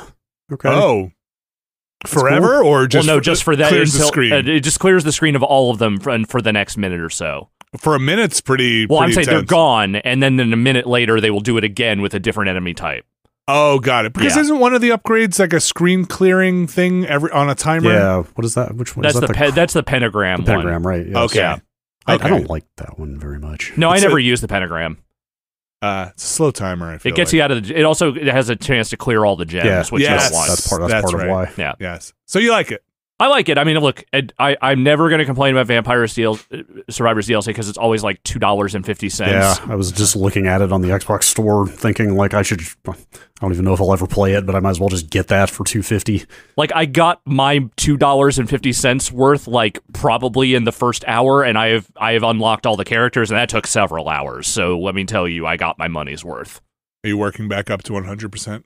I I have two weapon evolutions I have to go find, and otherwise I'll be back at hundred percent. That's amazing. It's Never, 'Cause I'm an never below idiot. Look, it's not the only thing I've been playing. All right, I did play. I've I also got back on my Hitman bullshit thanks to that end of December stream we did. Good for you. Look, Hitman's still a great game. I want to unlock that drum set in my basement In the Hitman. in the Hitman. yeah, yeah. I have What a you- drum set in my basement Yeah, I was in real say. life. Is it just a master or it's the uh, points in the Yeah, freelancer it's just mode? leveling up. It's that thing where you level up and then you get a new thing unlocked in your room. By the way, when we were playing that and I unlocked that thing in the shed, I didn't realize I can now go in my shed Oh, and you in go there? in there Yeah. and Diana has created a brewing kit for you in there that you have to repair initially. But then you go find mushrooms around your property, and then you filter them in there, and you can make poison vials and take them on the mission and take with them you. on the mission. Huh. Okay, That's That- neat. yeah, that probably makes fulfilling some of those requests easier. Yeah, totally. So now I only have like thirty levels left, and I can get my drum set. Is gonna it really that far in? Yeah, I'm, I, I'm like I'm at like level 34 Yeah. in that mode, and I think I have to be 60 something to get that drum set. Have you gotten uh, a good run? Like, are you deep in a thing now? The furthest I've gotten since I got back into it was deep into a third tier run. Okay, and there are five, There's four. four. Okay, that's pretty. That's pretty high. Yeah. Are you in the middle of one now? No, I just I bombed out the last Okay. one. So I here's the thing: if I bomb it, if I fuck up at all in the first run, I just start over. Okay, Any other one, I keep going until I can't go anymore. right, right. You get your your second. Yeah, because you never have enough money to lose. Because like, they take half your money when you restart a run. Yeah, yeah. But if you never have, like after a first run, you never have enough money for it to matter. Brad, do we? Is there a date on that James Bond thing? No, No, No. definitely no, no, not. no. Okay. They haven't even That's- shown that thing yet. No. Nope. Did- Is it? Do we know what Bond it is? Uh, they're still just calling it Project 007, I believe. Okay. So I here's my theory: Yeah. it's a British guy. What? probably a safe bet. How about a British gal? I mean, that would be welcome, Is are they exciting, recast? different. But I they don't think they're going to do that. Have they recast? I just assumed it would be tied No, to they're- whatever they're- recast. No, they're they're is. they're super in between bonds right now. Okay. I think the last time they were asked about it, they said, We're really thinking about what we want the future of Bond to be, which says to me they have no fucking idea what they want Bond to be at this point. Mm. Is it going to be a white British man with dark hair? Or No. blonde hair. Well, now yes, now blonde is possible. I suppose. Daniel Craig really busted the wall open on what's possible for James Bond. Uh, Yeah. This this just says Project 007 working title is a brand new James Bond video game featuring a wholly original Bond story. So Oh, wholly original. Okay. it, it could it could just be their own design. Yeah. I, we assume you would be playing as Bond. And not an AI generated Bond. I would Bond. think yes. so. I, was going to think say like so. not some kind of like side thing where you're like a different double O or you know. Yeah. I mean, lit- okay, yeah, all right. I'm curious to see what that happens with that. Okay, quick before we move on to our next segment here. Chances of that game never coming out? The Bond game? Yeah, not that Mm, high. not that high. Okay, Yeah, a, a license of that magnitude, I'm pretty sure they're going to try to make sure it gets out the door. Well, Okay. especially considering IO has basically put the majority of their resources into this I thing now. So my follow up question, maybe I said one question too soon. Chances of IO getting bought before that thing comes out? Nah, I mean, considering they just got loose of, Uh huh. of Square Enix, Uh huh. I'm guessing they're probably pretty gun shy about a corporate parent again anytime I f- soon. I feel like something pretty catastrophic would have to happen. And granted, I am not saying that that isn't possible in the current Mhm. landscape of video games by any stretch, but I feel like they would not make that move unless they absolutely had to. Microsoft buys IO 2025. Hmm. that feels like hmm. one Sony might go after Sony? if they were looking for someone. Hmm. I feel like that Bungie news put probably developers on their heel, heels a bit by being Yeah. like, maybe we th- we talked to Microsoft before we talked to Sony. Well, I mean, Not look, that they're the only two people out there, but No, I mean, like it, the one thing Microsoft has going for it, yes, is that they have not done a ton of mass layoffs of the studios they have bought so far. But I mean, is that is that bulwark going to hold forever? I don't know. Sony just did it really fast in a way that was unexpected. Yeah, again, yeah, we're probably talking out of our ass here too because who I don't know anybody I don't know buying fuck anybody. I don't know what Anybody the numbers are on now. this shit. Yeah, yeah, yeah. I, I hope Hitman did okay for them, but I feel like Hitman's one of those things I love that didn't do super well. You know, like it's one I of those. think World of Assassination did all right, and I think that it has a pretty good ongoing player base still. But I mean, I don't know how much of that is actually filtering into more money. yeah, I bet I yeah. bet it was an extremely long tail on that. Yeah. thing. slow Okay. burn. I hope they did really well.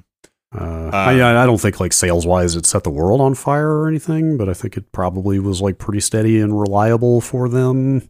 Yeah, and they sold some packs guess. and DLC. Mhm. Uh, but also uh, we've talked about this before, like the kind of, and I you know this is just my perception of playing the games. I don't know anything behind the scenes, but it looked like the reduction in budget was fairly apparent over time, or at least the cinematics and that that sort of thing. Definitely, Mhm. yes. Like you could really see how they had scaled back on certain production values and quality uh, from game to game.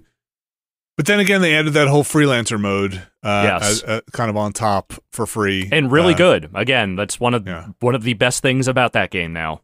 And I wonder if that World of Assassination package saw a big uptick in people who hadn't bought one and two, scooping those up and pulling those into the platform for for those maps. You know me, It's I'm like- always a big fan of the platform model. Yeah, It's like it's, just- it's like it's like the best love letter any developer ever wrote to their own game. You know Mhm. the way they the way they did that. Well, well, no, the the the the whole package, the platform. Uh, Yeah. like like to take that much work over that many years and just kind of house it all in one thing. yeah. It's just so awesome. Ah, Jackbox, make a platform. Yeah. Just- just roll them all up into one thing. Uh, all right, that's gonna do it for the games. We're gonna, unless you guys have anything else to talk about No. games wise, That's what I got. we're gonna take a quick break. We're gonna come back with the news. All right, we are back. It's time for the news. Brad Shoemaker, you've gone through and picked some news from this last week here. Got a lot mm-hmm. of Xbox news going on. You want to kick it off with exclusives maybe not being so exclusivo anymore? Yeah, that's that's the word going around. Everybody from Nate the Hate Uh huh.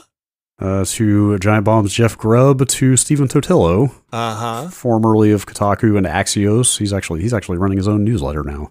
Oh, no kidding. I thought you still had Yes. Axios. No, he has he has he has gone independent. Anyway, a lot of people are reporting that Microsoft is looking at starting to bring some of its first party games to other platforms. Hmm. Uh, and it's it's sounding like the most likely one of those right now is Sea of Thieves to PlayStation. Interesting. So just roll I that see one it. around in your head for a second. I am. So Uh, you know that's a game that needs player bases, right? And like, Well- or it doesn't need them, I guess. But you know, it's an online game that could benefit from more players, right? Sure. Makes sense. Now, also look, al- also made by Microsoft first party studio Rare. yeah. So I guess the thing the here, I, Crucial I would, detail. I would, um, I would say, Brad is like, look, the Minecraft's been on every platform before. Yeah. They're, yeah, they're, I mean, I think Minecraft is. I, I look at Minecraft as its own thing. Well, Mhm. Minecraft is its own industry. Yeah. Basically, it's its own console. but there, there's, there's rarely a thing that has Ah. started inside of Microsoft that has made its way out. They have Yeah. honored cross-platform commitments from studios they have gobbled up, and there are plenty. Yes. Yes. So this that's what makes this a bit more nu- unique, right? Yes, for sure. I mean, yeah, like what was it was like a lot of the Bethesda stuff, like uh, Ghostwire Tokyo and something else. Uh, Deathloop, Um, right? Yeah, Deathloop. Deathloop was a PS5 exclusive even after uh, they had taken uh, possession of Bethesda. Um, I forgot Psychonauts 2, but they had promised that multi-platform on Fig. Mm, Remember that? mm, I do remember Fig. Uh, like the closest thing here is is the Ori games. Was it both Ori's or just the second one that came to Switch? Uh, but even oh, there, I don't think I knew that. Yeah, at, least at least the second Ori is on Switch. I think both of them. But even there, Moon Studios is an independent studio. Okay. That was just a publishing deal, so that may have been written into the contract from day one. For for all we know, uh, And- that that that would go multi-platform. But this is like, you know, Microsoft's owned Rare since 2000 what three? A Four? long time ago. Like yeah. Microsoft's owned Rare for like 20 years, right? Pre 360. Yeah. Uh, yes. Avatars. Yes. So uh, there's also there's also some so like that one like Grubb and, and Totilo both have said like hey I've like heard definitively that they are thinking about bringing this game to PlayStation. Sea of Thieves specifically. Yes. Yeah. There's there's some squishier talk about maybe Hi-Fi Rush also getting a multi-platform release. Mm. Um so yeah, that's kind of that's kind of all that's being said right now. Those are the rumors, but you know, that sure does raise some questions about what Microsoft's strategy is going forward and where they're at with things. Uh I mean, I imagine where they're at with things is the Xbox is not selling that well. Yeah, it's kind of impossible to look at this without the context of what's been going on the last few months or like some of the signs that have been emerging the last few months Oh, wait, like uh, what? about the how how the Xbox is uh how it's faring. Mm. Um Not that was a- well. There was a market research group. I can't remember the name of it. I should pull that up. I could probably actually find it real fast. There, a, a- there was a market research firm that put out a report at the end of last year that the PS5 had outsold the Series X three to one. Uh, across last the year. world, nationwide, or sorry, Um, worldwide. I assume that is right. Not in the uh, states. Let me let me pull that up. Okay. It's hard to say because, I mean, again, data comes in from so many different sources internationally. So, Also, Yeah. sorry, that was the X and S. I was about to say, is that just the X or also the S? Um, Like I I could um three to one is quite a bit, but you know I, it's always been a stronger PlayStation market in Europe and uh in Japan. Well, and then the PlayStation 5, I think, has actually been outpacing some of its expectations, especially with its sort of, you know, like hardware light launch in terms of like the the number of consoles they were able to get out at the outset. Oh, availability. Yeah, availability. Yeah. Mhm. Yeah, here it is. Amp- Ampere Analysis is the uh, is the research firm that reported that uh, PS5 outsold Series X and S by a ratio of three to one last year. Um, also, anecdotally, like I don't know if you saw, there were like a lot, some shocking deals on the Series X going around over the holidays. I I did, did see, see some that. of those. Yeah. Like it was it was on sale for three forty nine for like kind of a while. This was not like an over like a one day sale or something. It was like for a bit. And I want to say it was the Diablo bundle even that you Mm. could get the console and Diablo four for three forty nine in some cases, I believe. And so Um, look, they've got a lot of studios now. They've got a lot of games, a lot of very good games. Um, sure, that seems like a like a play. Do you do you think the you guys have been doing this a long time? I respect. So have you. opinions. No, I've been covering it a long time. You guys have been. I've been making videos of you guys for a long time. Vinny, I, let- let's be real. Let's, let's not overstate our importance here, okay? You've been doing this just about almost as long okay, as we have. I've been doing this forever, and I'm always right.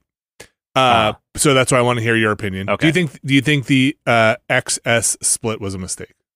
no, not. No? I mean, based on how much the S has moved units, I don't think so at all. I'm slightly more on the side of it's not that I think the concept was a mistake, it's Mhm. that I think they their branding was a mistake. Hmm.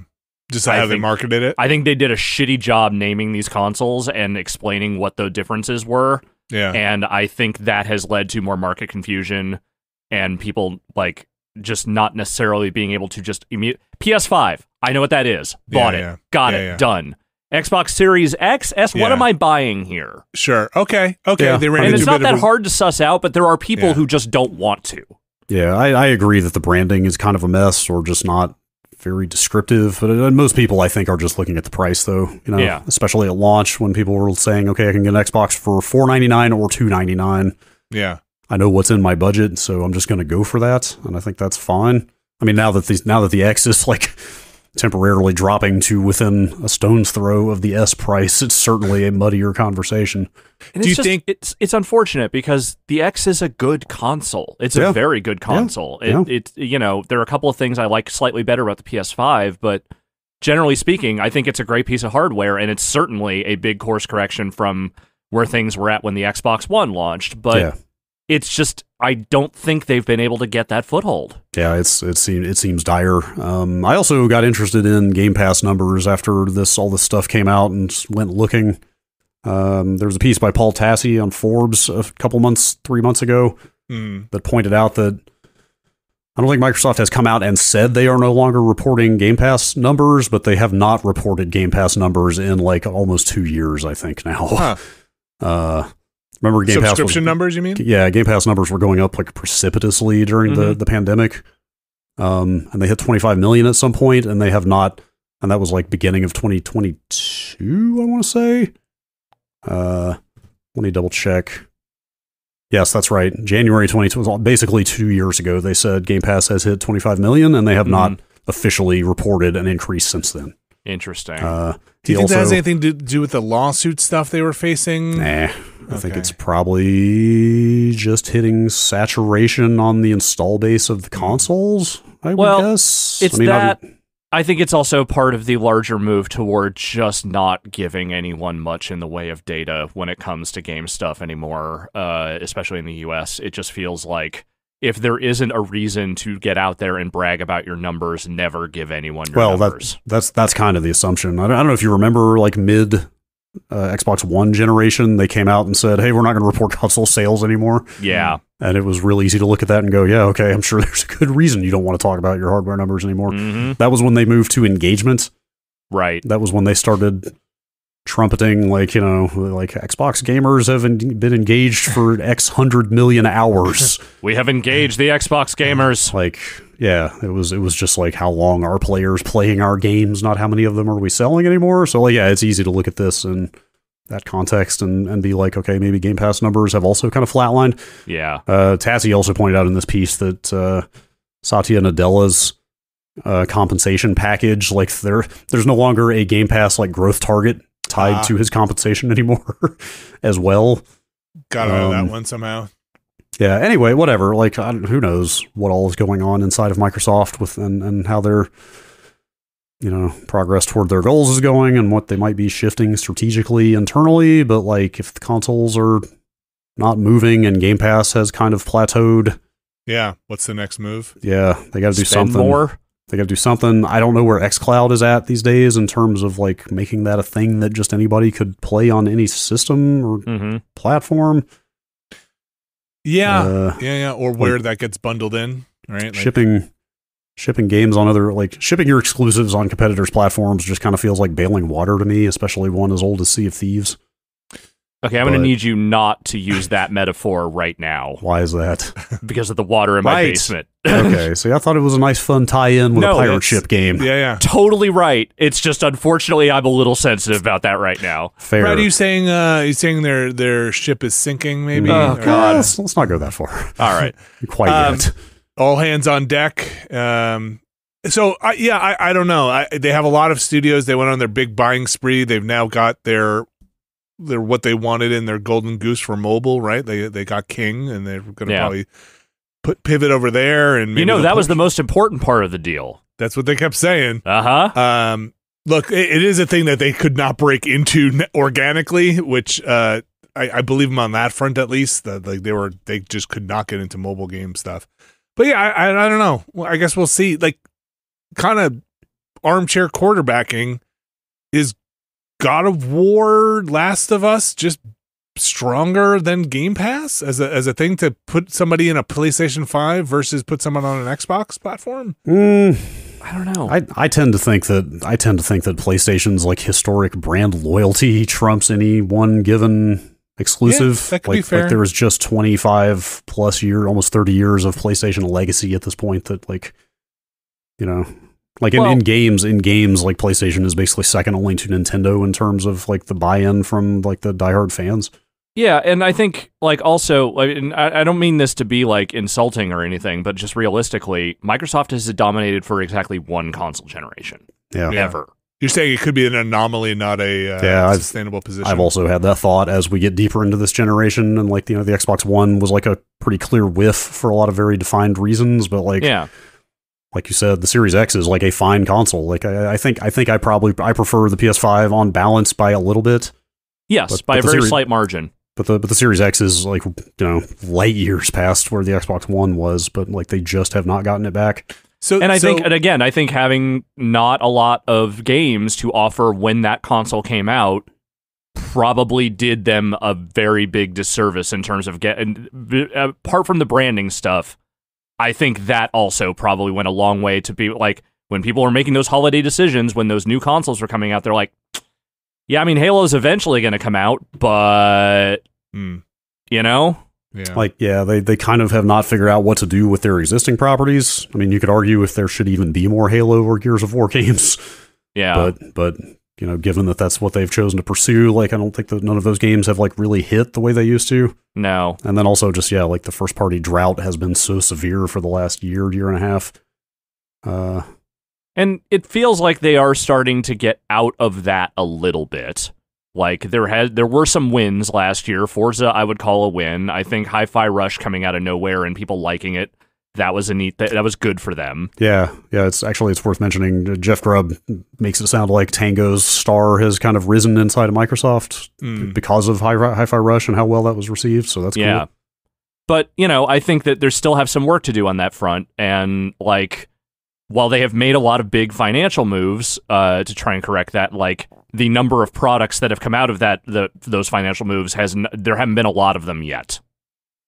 Yeah yeah, hope- that, that that'll that's what kind of just made me think of like, um, you know, there are Sony has marquee things that are very hot right now. Uh, Yeah. you know, Last of Us extremely hot. Um, you know, Spider Man extremely hot. Yeah. Uh, I fucking love War- Psychonauts too, but that wasn't going to sell consoles. Yeah, yeah, yeah. Things like Gears of War is not that that's not the thing right now. You know, like even Halo feels to have kind of fallen off, and I don't know if young the youngins are clamoring for Master Chief. Uh, certainly, my kids are not like, when's that next Halo game coming out? Yeah. Uh, so yeah, I, I don't know. I, I don't know what they got to do.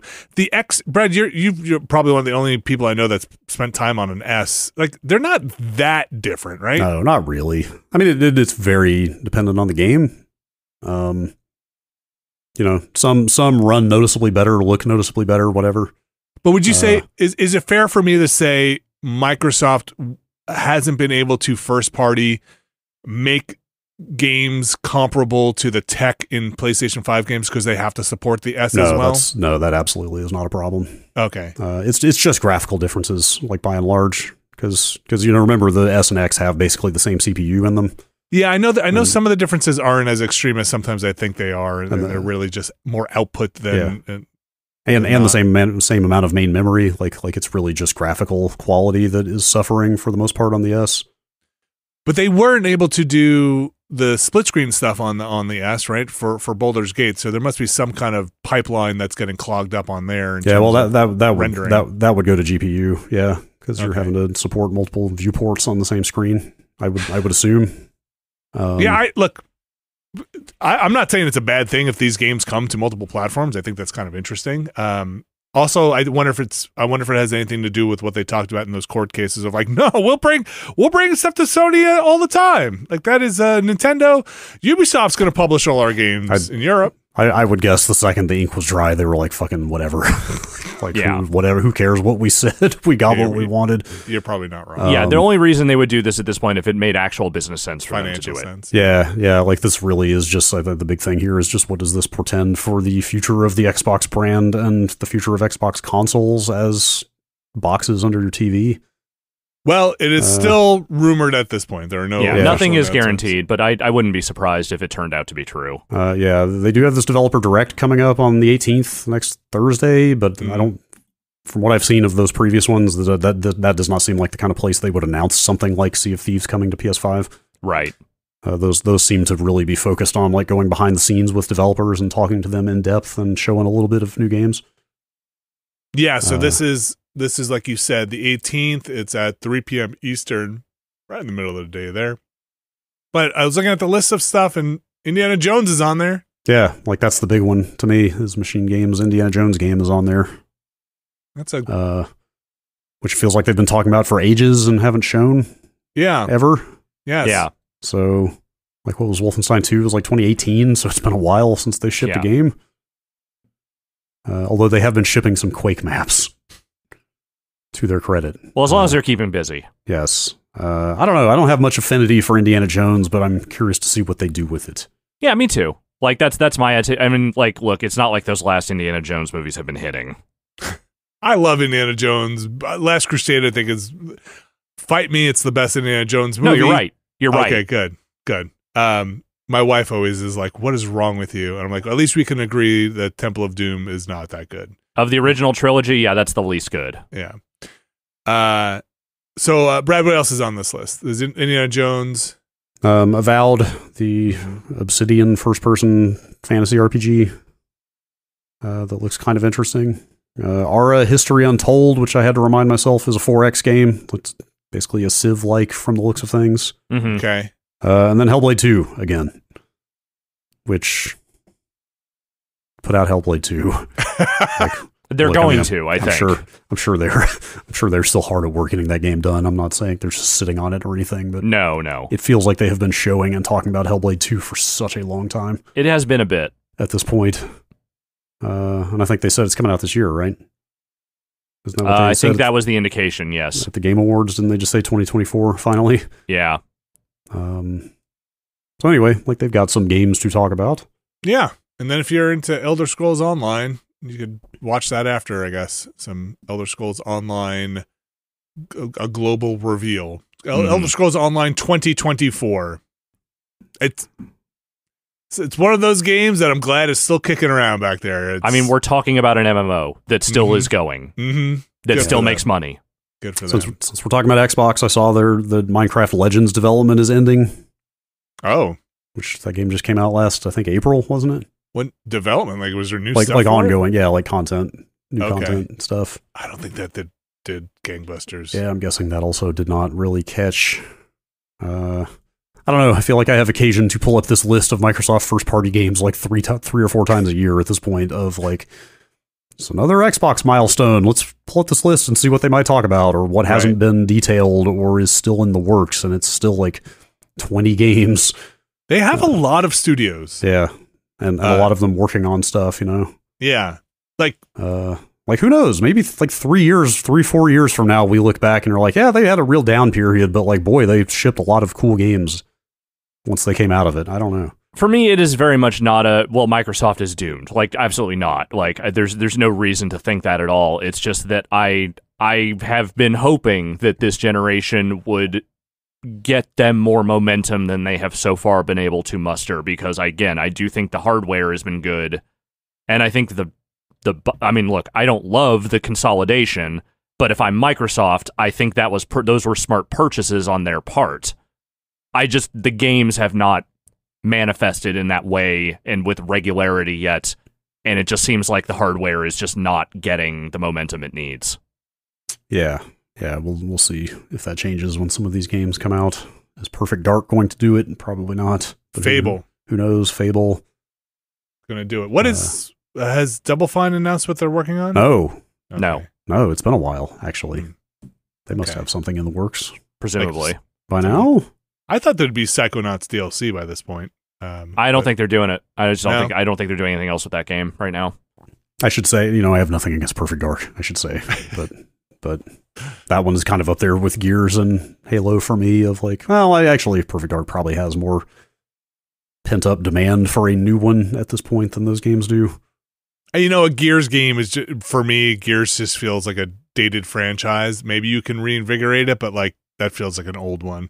Mhm. Unless, look, God of War was a dated franchise too, and I think they did good things to revitalize that in a somewhat modern gameplay take on it. I wonder if they can do the same thing for Gears of War. Just that that gameplay was novel at the time, and it the world has moved so far afield or has iterated so much on the stop and pop, you know, Yeah. chainsaw Yeah. people Yeah.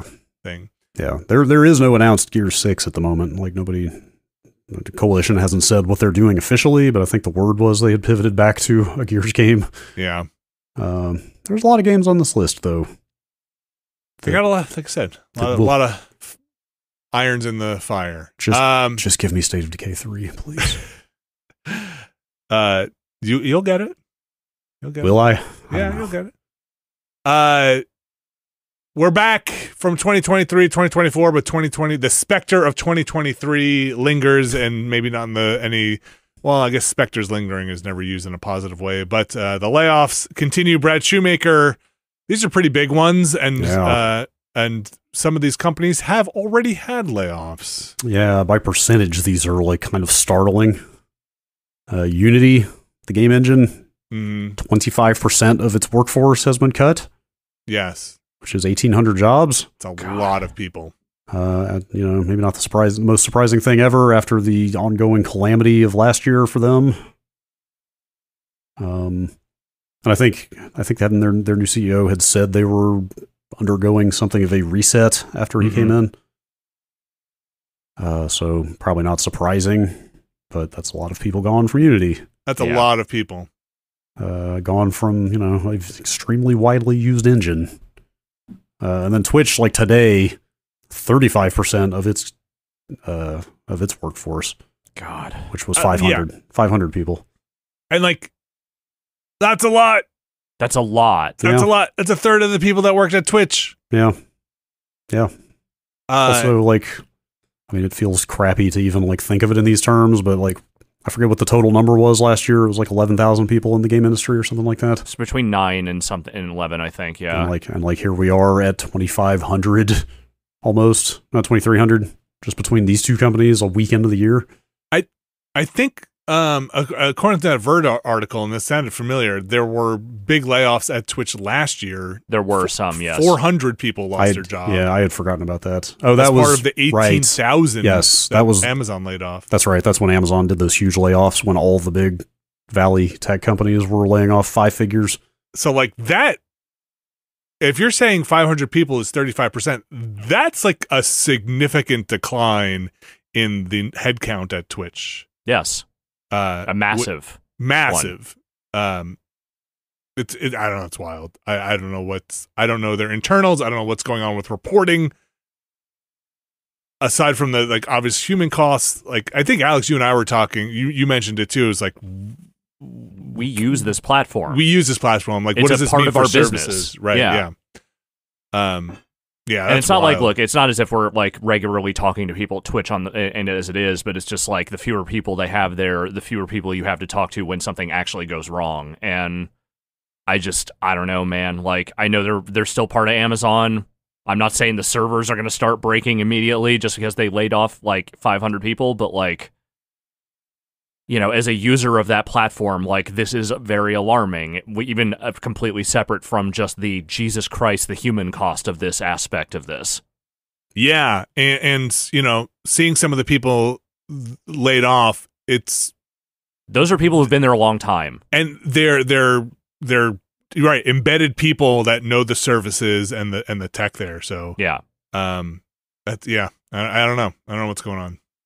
I mean, what's going on is everything's broken. Like that's it- just that's that's that's, the the really broad spectrum, fucking you know, not satisfying at all answer is that everybody's business is kind of broken right now. Yeah, I mean, this, this statement from the CEO reads very much like more of the we we went on a hiring spree during the pandemic growth, just assuming it would last forever, which of course it did not. For some time now, the organization has been sized based upon where we optimistically expect our business to be in three or more years, not where we're at today. So, Growth businesses. Yeah, so it's like, hey, we hired a bunch of people because we thought that we were just everything, all the numbers were just going to keep going up. It's weird how every time there's an example of that not proving to be true, no one learns that lesson. Look, is a company ever going to be like, nah, man, we just don't grow. And we we try to we, we do a conservative uh, estimate this year. Like you, we, we you and I and and Brad, we've all been at companies that are like, where's your fifteen percent? Yeah, Where's your I mean, not a publicly traded one, absolutely not. At a we're- no, publicly we're- traded company. we're- No, I'm we're saying a publicly traded company Oh, would yes. never say that. yeah, yeah, we're running a lifestyle corporation here. that's right. We're Yeah. happy Right. where we're at. That's right. Lifestyle company.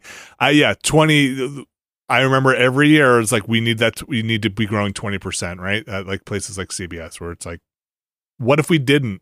What if we were just okay not growing 20%? I'm okay Not- with that. Not compatible with our socioeconomic system. Thank you. Yeah. Um yeah, so that's a lot of people. Hire hire good people. There- are a lot of good people. Yeah, I I saw we know personally some of the people who've been laid off. They're extremely talented. Mhm. Um, uh, so these people would be an asset to whatever company wants to pick them up. Uh, Brad, this last one, I, I'll tell you. We were talking about Twin Peaks, and there were storylines in Twin Peaks on the Watchcast where you're like, "This one again? I'm kind of getting tired of this storyline. Hope they just wrap this one up soon." Brad, I feel this way about our next story. Yeah, I thought about talking about this last week and didn't, and then I, you know what? Frankly, it's mostly because I am very excited about a new Nintendo Switch, A new Nintendo and, Switch. and I am happy for an excuse to speculate about it a little bit. hmm Uh, but uh, uh, this came out of we talked about gamesindustry.biz's like annual wrap up news Mhm. wrap up last last week. Uh, they also they also get a bunch of analysts on the hook every year to like predict things for the coming year. And uh, Dr. Serkan Toto uh, is one of the analysts they uh, of Kantan Games is, is the Uh-huh. company in, in Tokyo that he works for, but. Uh, he made some predictions. You you have to assume people in that position are making these predictions in an, an informed way right. based on what they know. I guess like the actual news here. I mean, he's predicting the Switch 2 will be out this year. We kind of already knew that. He's predicting it will be an iteration on the previous Switch, which That was the part that made me deflate a little yeah, bit. Yeah, it's like uh, you know, uh, okay, pretty safe to assume that it's going to be another handheld that connects to a TV. Right. Mm, Um, the actual news here is that he's predicting it'll be 400 bucks, yeah, that's expensive. which 299 is where the previous Switch launched at. So that's worth knowing. I mean, the hope is that they are planning on putting some hardware in there that will justify that. Yeah, I mean, like Who when can you say, though? I, when you say iteration, right? Like that could go a lot of ways, Brad. Like you said, is it an iteration on the core conceit of the Switch? Yeah. Like you'll have a thing that is a handheld and a TV, or is it That's an iteration on like hardware? Yeah, that's what he's saying. Like Nintendo might add some bells and whistles to the device, but it will be similar to the current Switch. Yeah. Is what he's saying, which I absolutely would. If the thing is just a Switch feature for feature, but with faster guts in it, I'm sure that's going to be enough for the entire market. That will do it- just fine. No, nobody will not buy that because because it's just a faster Switch. Yeah, but if it's if, what if it's not a faster Switch? What if it's a Switch with better battery life, screens, better no, they can't do that again. They can't. Like they can't. better haptics Oh, on oh, the you mean oh, you mean like just on, like another rev of this Switch? like literally Oh, bells and not. whistles, like not Absolutely internal guts. Absolutely not. they like, can't look- pull that off. That thing, that thing is that thing was outdated the day it came out. That's what I mean. point. That that's what scares me. Like Look, I'm not bells and saying it- whistles. I'm not saying it won't be outdated in some way or another. Like it won't certainly. I, I would bet dollars to donuts it will not be as powerful as the current generation of home consoles Oh. as it is, is this right now. not. Absolutely But not. they cannot just say, "Well, it's a little more powerful." But they Uh, but they also can't go too far because they're they're gonna unless they put a line in the sand, which I don't think they'll do. It's gonna have to run. The Switch will have to run the same games the Switch Two runs. Yeah. So Ah, Well, you we think hope. they'll cut not them off? necessarily. Do you think We'd they would? Not necessarily. Wasn't that? I think that was the word out of some analyst chatter last year, right? That they were still like debating internally if backwards compatibility was actually important or not. Oh man, you think they'd leave the Switch behind? I think that would extremely suck. Yes, I think. it would. I think. You're I right. think. I think that would be some bullshit. I, Uh, you gotta get a, you gotta rebrand. Then you gotta not call this some any kind of Switch Two or anything like that. You gotta be. You need a new console. You're gonna have some angry Nintendo fans. But look, would I would I want to play Tears of the Kingdom on a better Switch? Hell yeah. Yeah. Uh, Do I want my Switch games to run on that thing? Of course. If you're telling me I gotta buy that thing again, no way. Mm-mm. And if you're telling me Switch 2 games don't work on the Switch, I think they've made a mistake in that wait, sense. the other way You mean around. Switch games work on the games Switch work on the Switch too. I'm saying both. I'm hmm. saying do okay, you well that one is probably not. That's definitely happen. not happening. so like if you're saying that like you buy the Switch 2 and it's not an Xbox Series X and S situation, I think you're going to have a lot of Switch owners that are still angry. Oh, that's definitely not happening. So you think this is a clean line 100%. you, you get Yeah. Switch 2 games? I Yeah. mean, they they might ship cross-gen games, like they might do the same thing. That, yeah. You think they're So- two different SKUs though. So yeah, but yeah, those those would be you know those would be developed in tandem with those considerations in mind from the get go.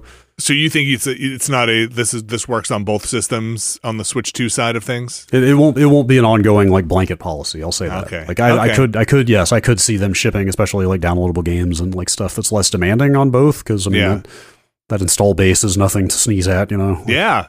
That's a lot of people to sell games to, even while you're waiting for them to buy into the new one. Uh, but th- but those will be case by case. I think that that would be just like it went on like the Xbox and PlayStation.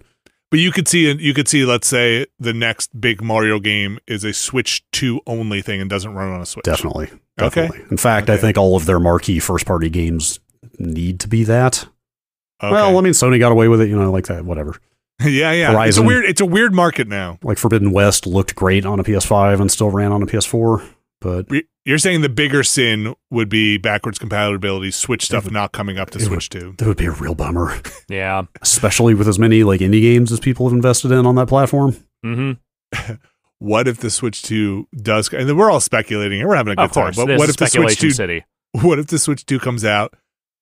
It is a line in the sand. There are Switch 2 only games, and that thing is still underpowered for what they're trying to push onto the Switch 2. I Mm. felt th- What, I what- felt the Switch never really met its potential, right? In terms what- of the games they were trying to run. what's your definition of underpowered?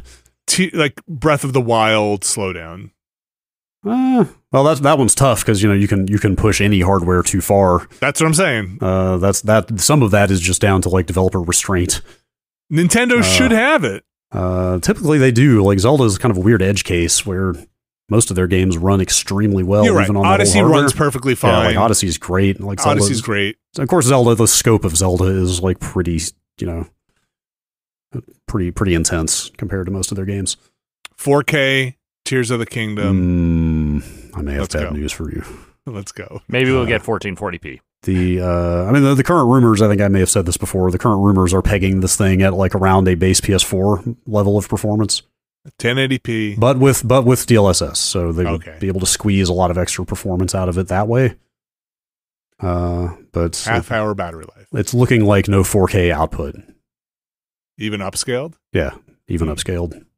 Uh, it'll probably be 1080p or really. Uh, I'm sure. I'm sure that dock will output 4K native.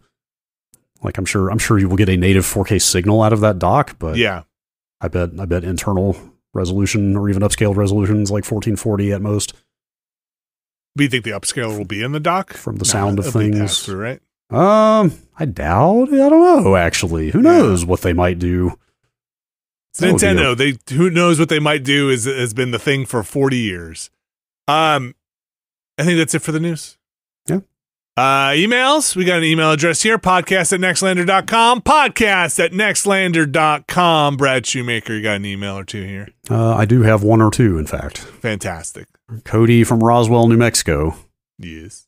Uh, I was listening to the podcast Laser Time recently, and Alex was mentioned along with along with Dan Ryckert. Alex mentioned. Uh, when one of the hosts talked briefly about WWE 2K14's Ultimate Brunchin. oh God. Uh, I was curious if you remember this event and if you got to meet the Ultimate Warrior or if he just stopped by and bounced. Oh fuck. I just find it neat when one of you is mentioned on others' podcasts. Oh boy, that was a real year uh, of of wrestling game coverage. Let me tell you. Uh, I probably have told some version of this story before, but so I actually ended up in the same room as the Warrior twice that year. Um, a- a quick a quick preface here: when I was a little kid and I liked wrestling, the Ultimate Warrior was one of my favorite wrestlers. Then I found out he was a virulent homophobe and kind of a piece of shit, so that really colored a lot of my perception of him. But he also got out of WWE for a very long time and was not welcomed back into the fold for a very long time. Um, he came back for WWE 2K14. That was how they in- reintroduced him kind of back into the fold. And at the first preview event I went to, which was in New York, Hmm. Triple H was there and introduced Warrior, and that was where I got to interview Warrior, and that sucked ass. Great. Um, Was I there with you for that or is that a No, I was a solo thing? Okay. I was alone. This is in 2013. This is before you Okay. came out here. okay. Um, he has zero sense of humor. Had zero sense of humor. Uh, and like I was asking him questions about the game, and he knew very little about it, other than he knew what video games were. Uh, at one point, I made a very light joke about the fact that his hair was very big in that game, and I was like, eh, I don't know if they, you know, they they gave you a little extra volume, and then he got real mad and was like, "Oh man, what are you playing this game for the fucking hair?" oh Uh, wow. Yeah, like real, like just not happy. Um, so that kind of ended the interview at that point. Um, and so when I went out for SummerSlam, which is the thing that we are talking about here, and this is a two pronged story. This is the first part is the Warrior part. I went to the Ultimate Brunchin. Uh-huh. Uh, I was there. Uh, Dan was there. Harry, uh, Henry, who we just mentioned, there, well, he was there for that uh, covering. I forget for who, but he was covering that show. Uh, A couple other people we knew. And so we went to this big brunch that was in like this, uh, you know, ballroom in whatever hotel was near uh, the LA Convention Center, which is where I think uh, the the Staples Center is where they were having SummerSlam. And they introduced Warrior after you know everyone kind of been sitting and eating for a while, and he came up and he was supposed to give a speech. And he spent a solid, I'm going to say 30 seconds to a minute just staring at this picture of himself that was like up on the wall and then started talking to it like it was he was talking to another like a person that he knew. What? It was I, I don't remember the full content of what he said, but it was very much like he was trying to do a dramatic conversation with himself about himself and what the warrior is and what it means and all this other stuff. And we were all just kind of sitting there going, "Uh-huh." And after a while, he said something about the video game and then left. Wait, sorry, let me just make sure I understand what's happening here. The ultimate brunch in was just Was a it- bunch of journalists at SummerSlam that was there that were there for part of the video game promotion. And so we were there and they invited us to do as part like there was also a preview event around playing the game and stuff like that. So but named for the ultimate warrior? yeah, because he was the big DLC pre-order bonus and him coming back was at the time kind of a big deal for wrestling. And then at this ultimate brunchin, the majority of the time is him monologuing to a, a, a p- picture on the wall, I don't know if it was the majority of the time, but that was how it started. or how it felt maybe. yeah. Uh, that's wild, man. Now, the other side of that story, which I'm not sure if Henry mentioned this also, is that was also the year that Ric Flair got Jim Ross fired by showing up to the panel thing, the preview event at night, fucking wasted and just completely overtaking the show. Jim Ross was supposed to be emceeing it, and he lost control almost immediately as soon as Ric Flair came out and just started talking and rambling. And then after the fact, apparently, a cou- like sometime a couple days within that span, Jim Ross was fired from the. WWE. Really? I think all you can say to that is woo. yeah. Ric Flair got up there. He was talking over everyone. He was uh, like Rey Mysterio and uh, I want to say Steve, maybe Steve Austin. I don't forget who. There were a couple of people up there with him, and they barely got to say anything because Ric was fucking hammered. Was telling all kinds of sloppy stories. At one point, started talking like this is admittedly tragic. His son did die, and he was talking about how when his son died, he put his Hall of Fame ring on his son's finger before he was buried. Aw. And everyone in the room is here for a video game event. I want to hmm. emphasize this as hard as possible. These are video game journalists in the room. This is not Ric Flair story time. Hmm. This is not like him doing shoot interviews. We're there for a video game preview. I, I'm Right. guessing in Ric Flair's world, it's always Ric Flair story time. yeah. Oh wow. So that was a very eventful year for wrestling game coverage and me. Huh. I I can't help but just wonder uh, when when Warrior asked you, "What are you playing these games for the hair?" Yeah. had just been like, "Yeah," but if I- you just was- said yes, I was already on such like tender hooks and just like so uncomfortable that I think all I said was like, "Nah, man, I'm just kidding." You know, I said something like that, and he was just like, you could tell he just was not having it. yeah. Right. Right. Right. And then Man. again, not that long after I think WrestleMania, which is where they inducted him into the Hall of Fame, he died. yeah, I had heard on that Vince McMahon podcast I listened to a while back about how he died and like just woof. It was like eight months after that thing that I just described. Warrior was dead. Didn't didn't he didn't he die within like four hours of the broadcast he was on that night or something? Like He went on Monday Night Raw the night after WrestleMania, I believe, and gave a speech which really sounded like he was delivering his own eulogy, even though that's- he super could not have known he was going to die. And then, yes, the next, like either the next morning or later that evening or something, he was in a parking lot and just had a heart attack and died. Yeah, like I haven't seen the footage, but they made it sound like he just looked like death warmed over on that broadcast and then like promptly died right after. He did not look good. Wild. Wow, That was a weird one, man. That was a weird time. Wrestling, man. Yeah. Wrestling. Uh, can I ask? Wrestling story never ends well. No. No, no, no. That was the biggest takeaway from that. Uh, listening to that, it was behind the bastards. That people frequently ask every time I reference this. It was the six-part behind the bastards series on Vince McMahon. Yeah. The biggest takeaway from that was nobody should go into wrestling. No. nobody should go. I mean, I get safer now, Much safer now. Yes. but still, just like the the chance of meeting a bad end in that sport seems so astronomically high.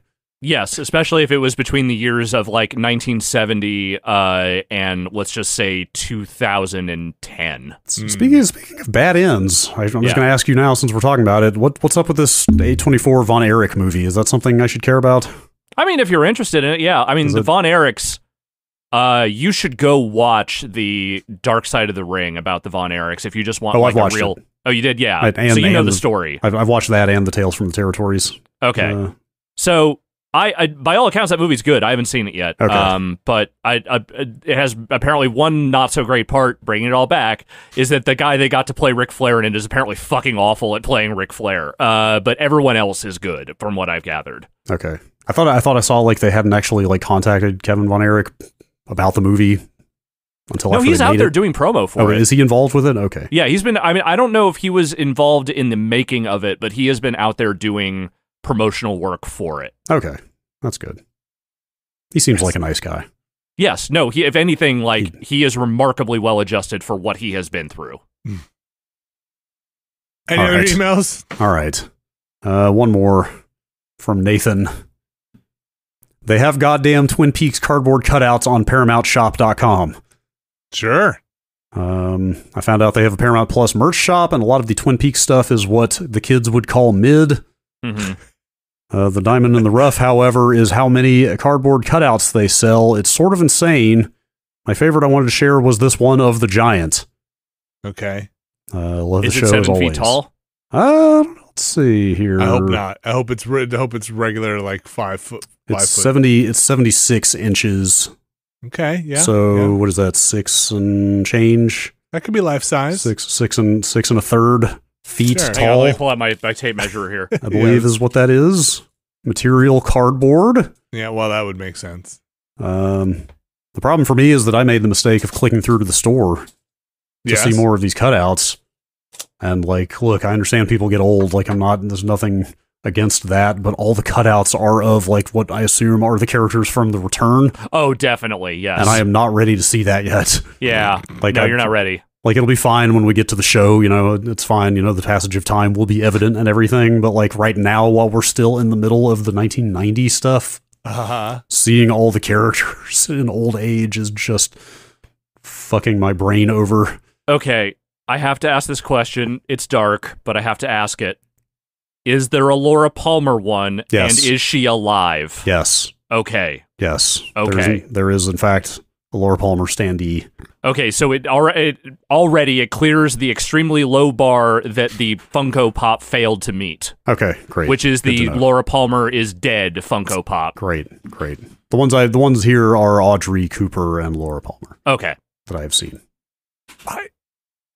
Ugh. I should stop looking at these. Don't buy them. Don't do it. so that's the Paramount store. Paramount store. Yes, ParamountShop.com. If Okay, we still is- worked there and maybe could get an employee discount, I would say maybe think about it, but don't Yeah. don't don't give them the money They're for about, that. they're about about forty five bucks a piece. Oh, No. Yeah. Oh, that sounds. no. That's pretty expensive. I. I'm just. I'm looking at this as well, Brad, and I just. I can't believe I went to the CBS shop first. I had no idea merch like this even existed for sale. Like, I didn't know people were buying a ton of Picard merch or. I don't know that they are, Bloods. Vinny. They made it. I don't know that a ton of people are buying it. I didn't. I had no idea any of this stuff. That happened. said, Like, I would actually love a cardboard cutout of Captain Picard. well, they're not even. There's a Picard Chateau Picard Vineyard T-shirt. There's, I th- a, a, a poster that a metal sign that says this this facility has gone blank days without an assimilation. Like they're merching it up over here. They sure man. are. I'm, I mean, I'm on the Twin Peaks page right now. Uh, what do we got here? Some stuff I don't recognize. Like there's a Hmm. ring on here with an insignia on it. I'm guessing I'll find out what that's about later. Oh, we might get some spoilers. I don't know. We should maybe pull the Uh, ripcord. I don't want to can- spoil anything. this is kind of cool. You can get a keychain that is a like a room tag from the Great Northern. Okay, that's neat. That's not so bad. That's pretty neat. Uh, let's see here. Can I get can I get my Bookhouse Boys iron-on patch?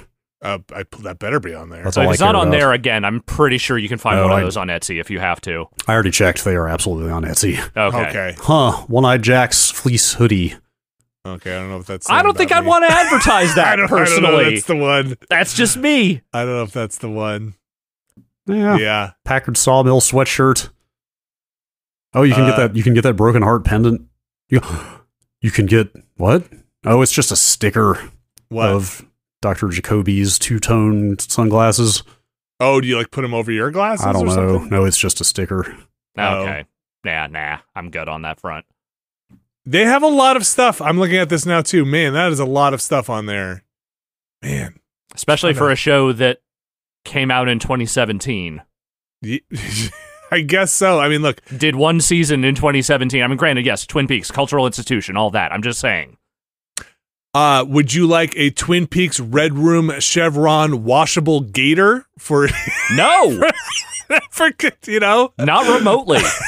for, you know for all of your uh, uh all of your needs? No, I, my needs are met. Thank you. Okay, well, look, I'm going to contact them just to see who's doing their merch store because apparently you could just put stuff up pretty easy. You know, I don't. I don't need a thermal travel mug that says "damn good coffee" on it.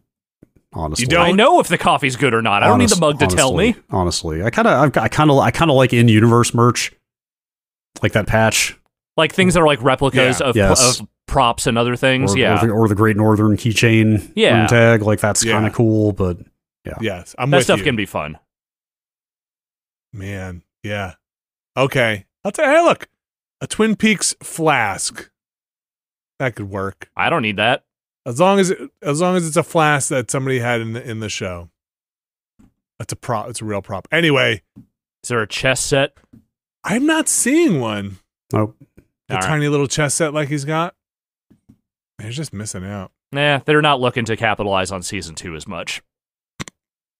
they just forget about that one. Yeah, well, they try to. All right. Is that gonna do it for the emails? Yeah. Let's call it there. All right. That's it for the emails.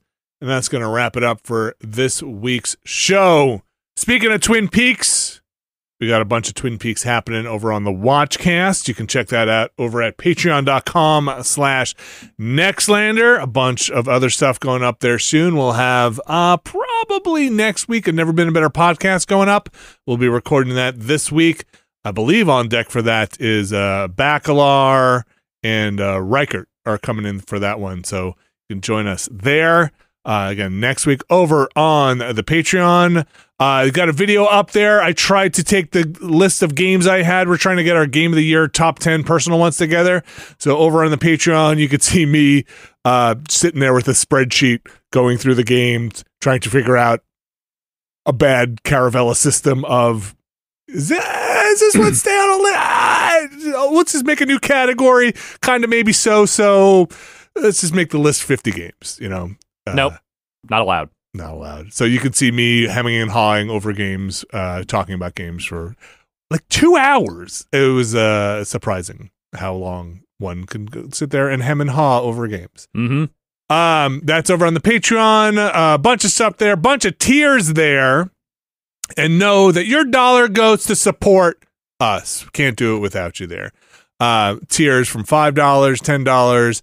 And there is a tier there, the Mysterious Benefactors tier, which gets their name read on this here show.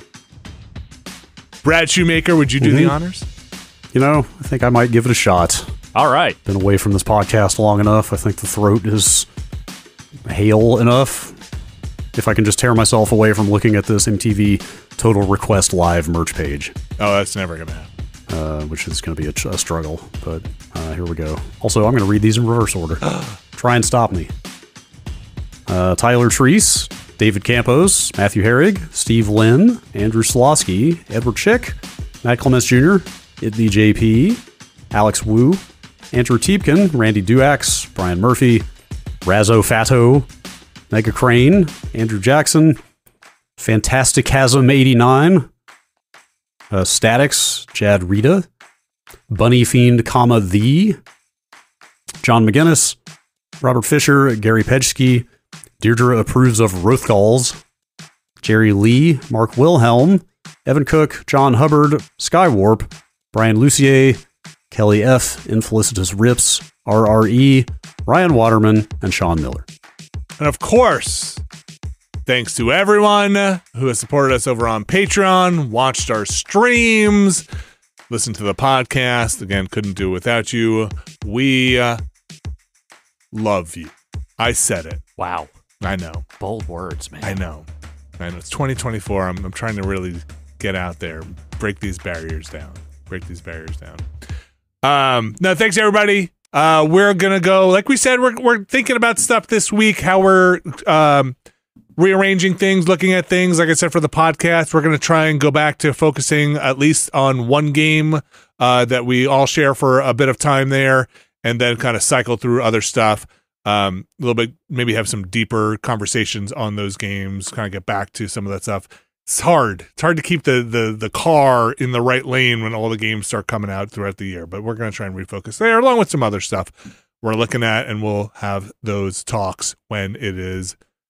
I guess I was going to say appropriate, but that sounds like I'm talking to my kids. we'll talk about it when it's appropriate. We'll talk about it when we've come up with a good When you Good. graduate from college, we'll talk about it. when when the time is right. Some Have stuff you- in the works. So Have you I'm talked to your children about content? we don't want to talk about inappropriate content here. That's that's really my big thing. Uh, we'll be doing some Prince of Persia. If you're listening to this uh, at the time on Thursday, we'll be doing that on uh, in the grab bag slot there. That's when the embargo's up, so we'll be able to uh, show you some of that. We'll probably start from the beginning, uh, not give too much away, and maybe we can jump into some later game stuff. Uh, show you a little bit, a little bit more of the, the powers in there. So tune in for that on Thursday, and we'll be back again with another stream on Friday. Thank you, Alex Navarro. Thank you. Thank you, Brad Shoemaker. Mm-hmm. And we'll be back next week.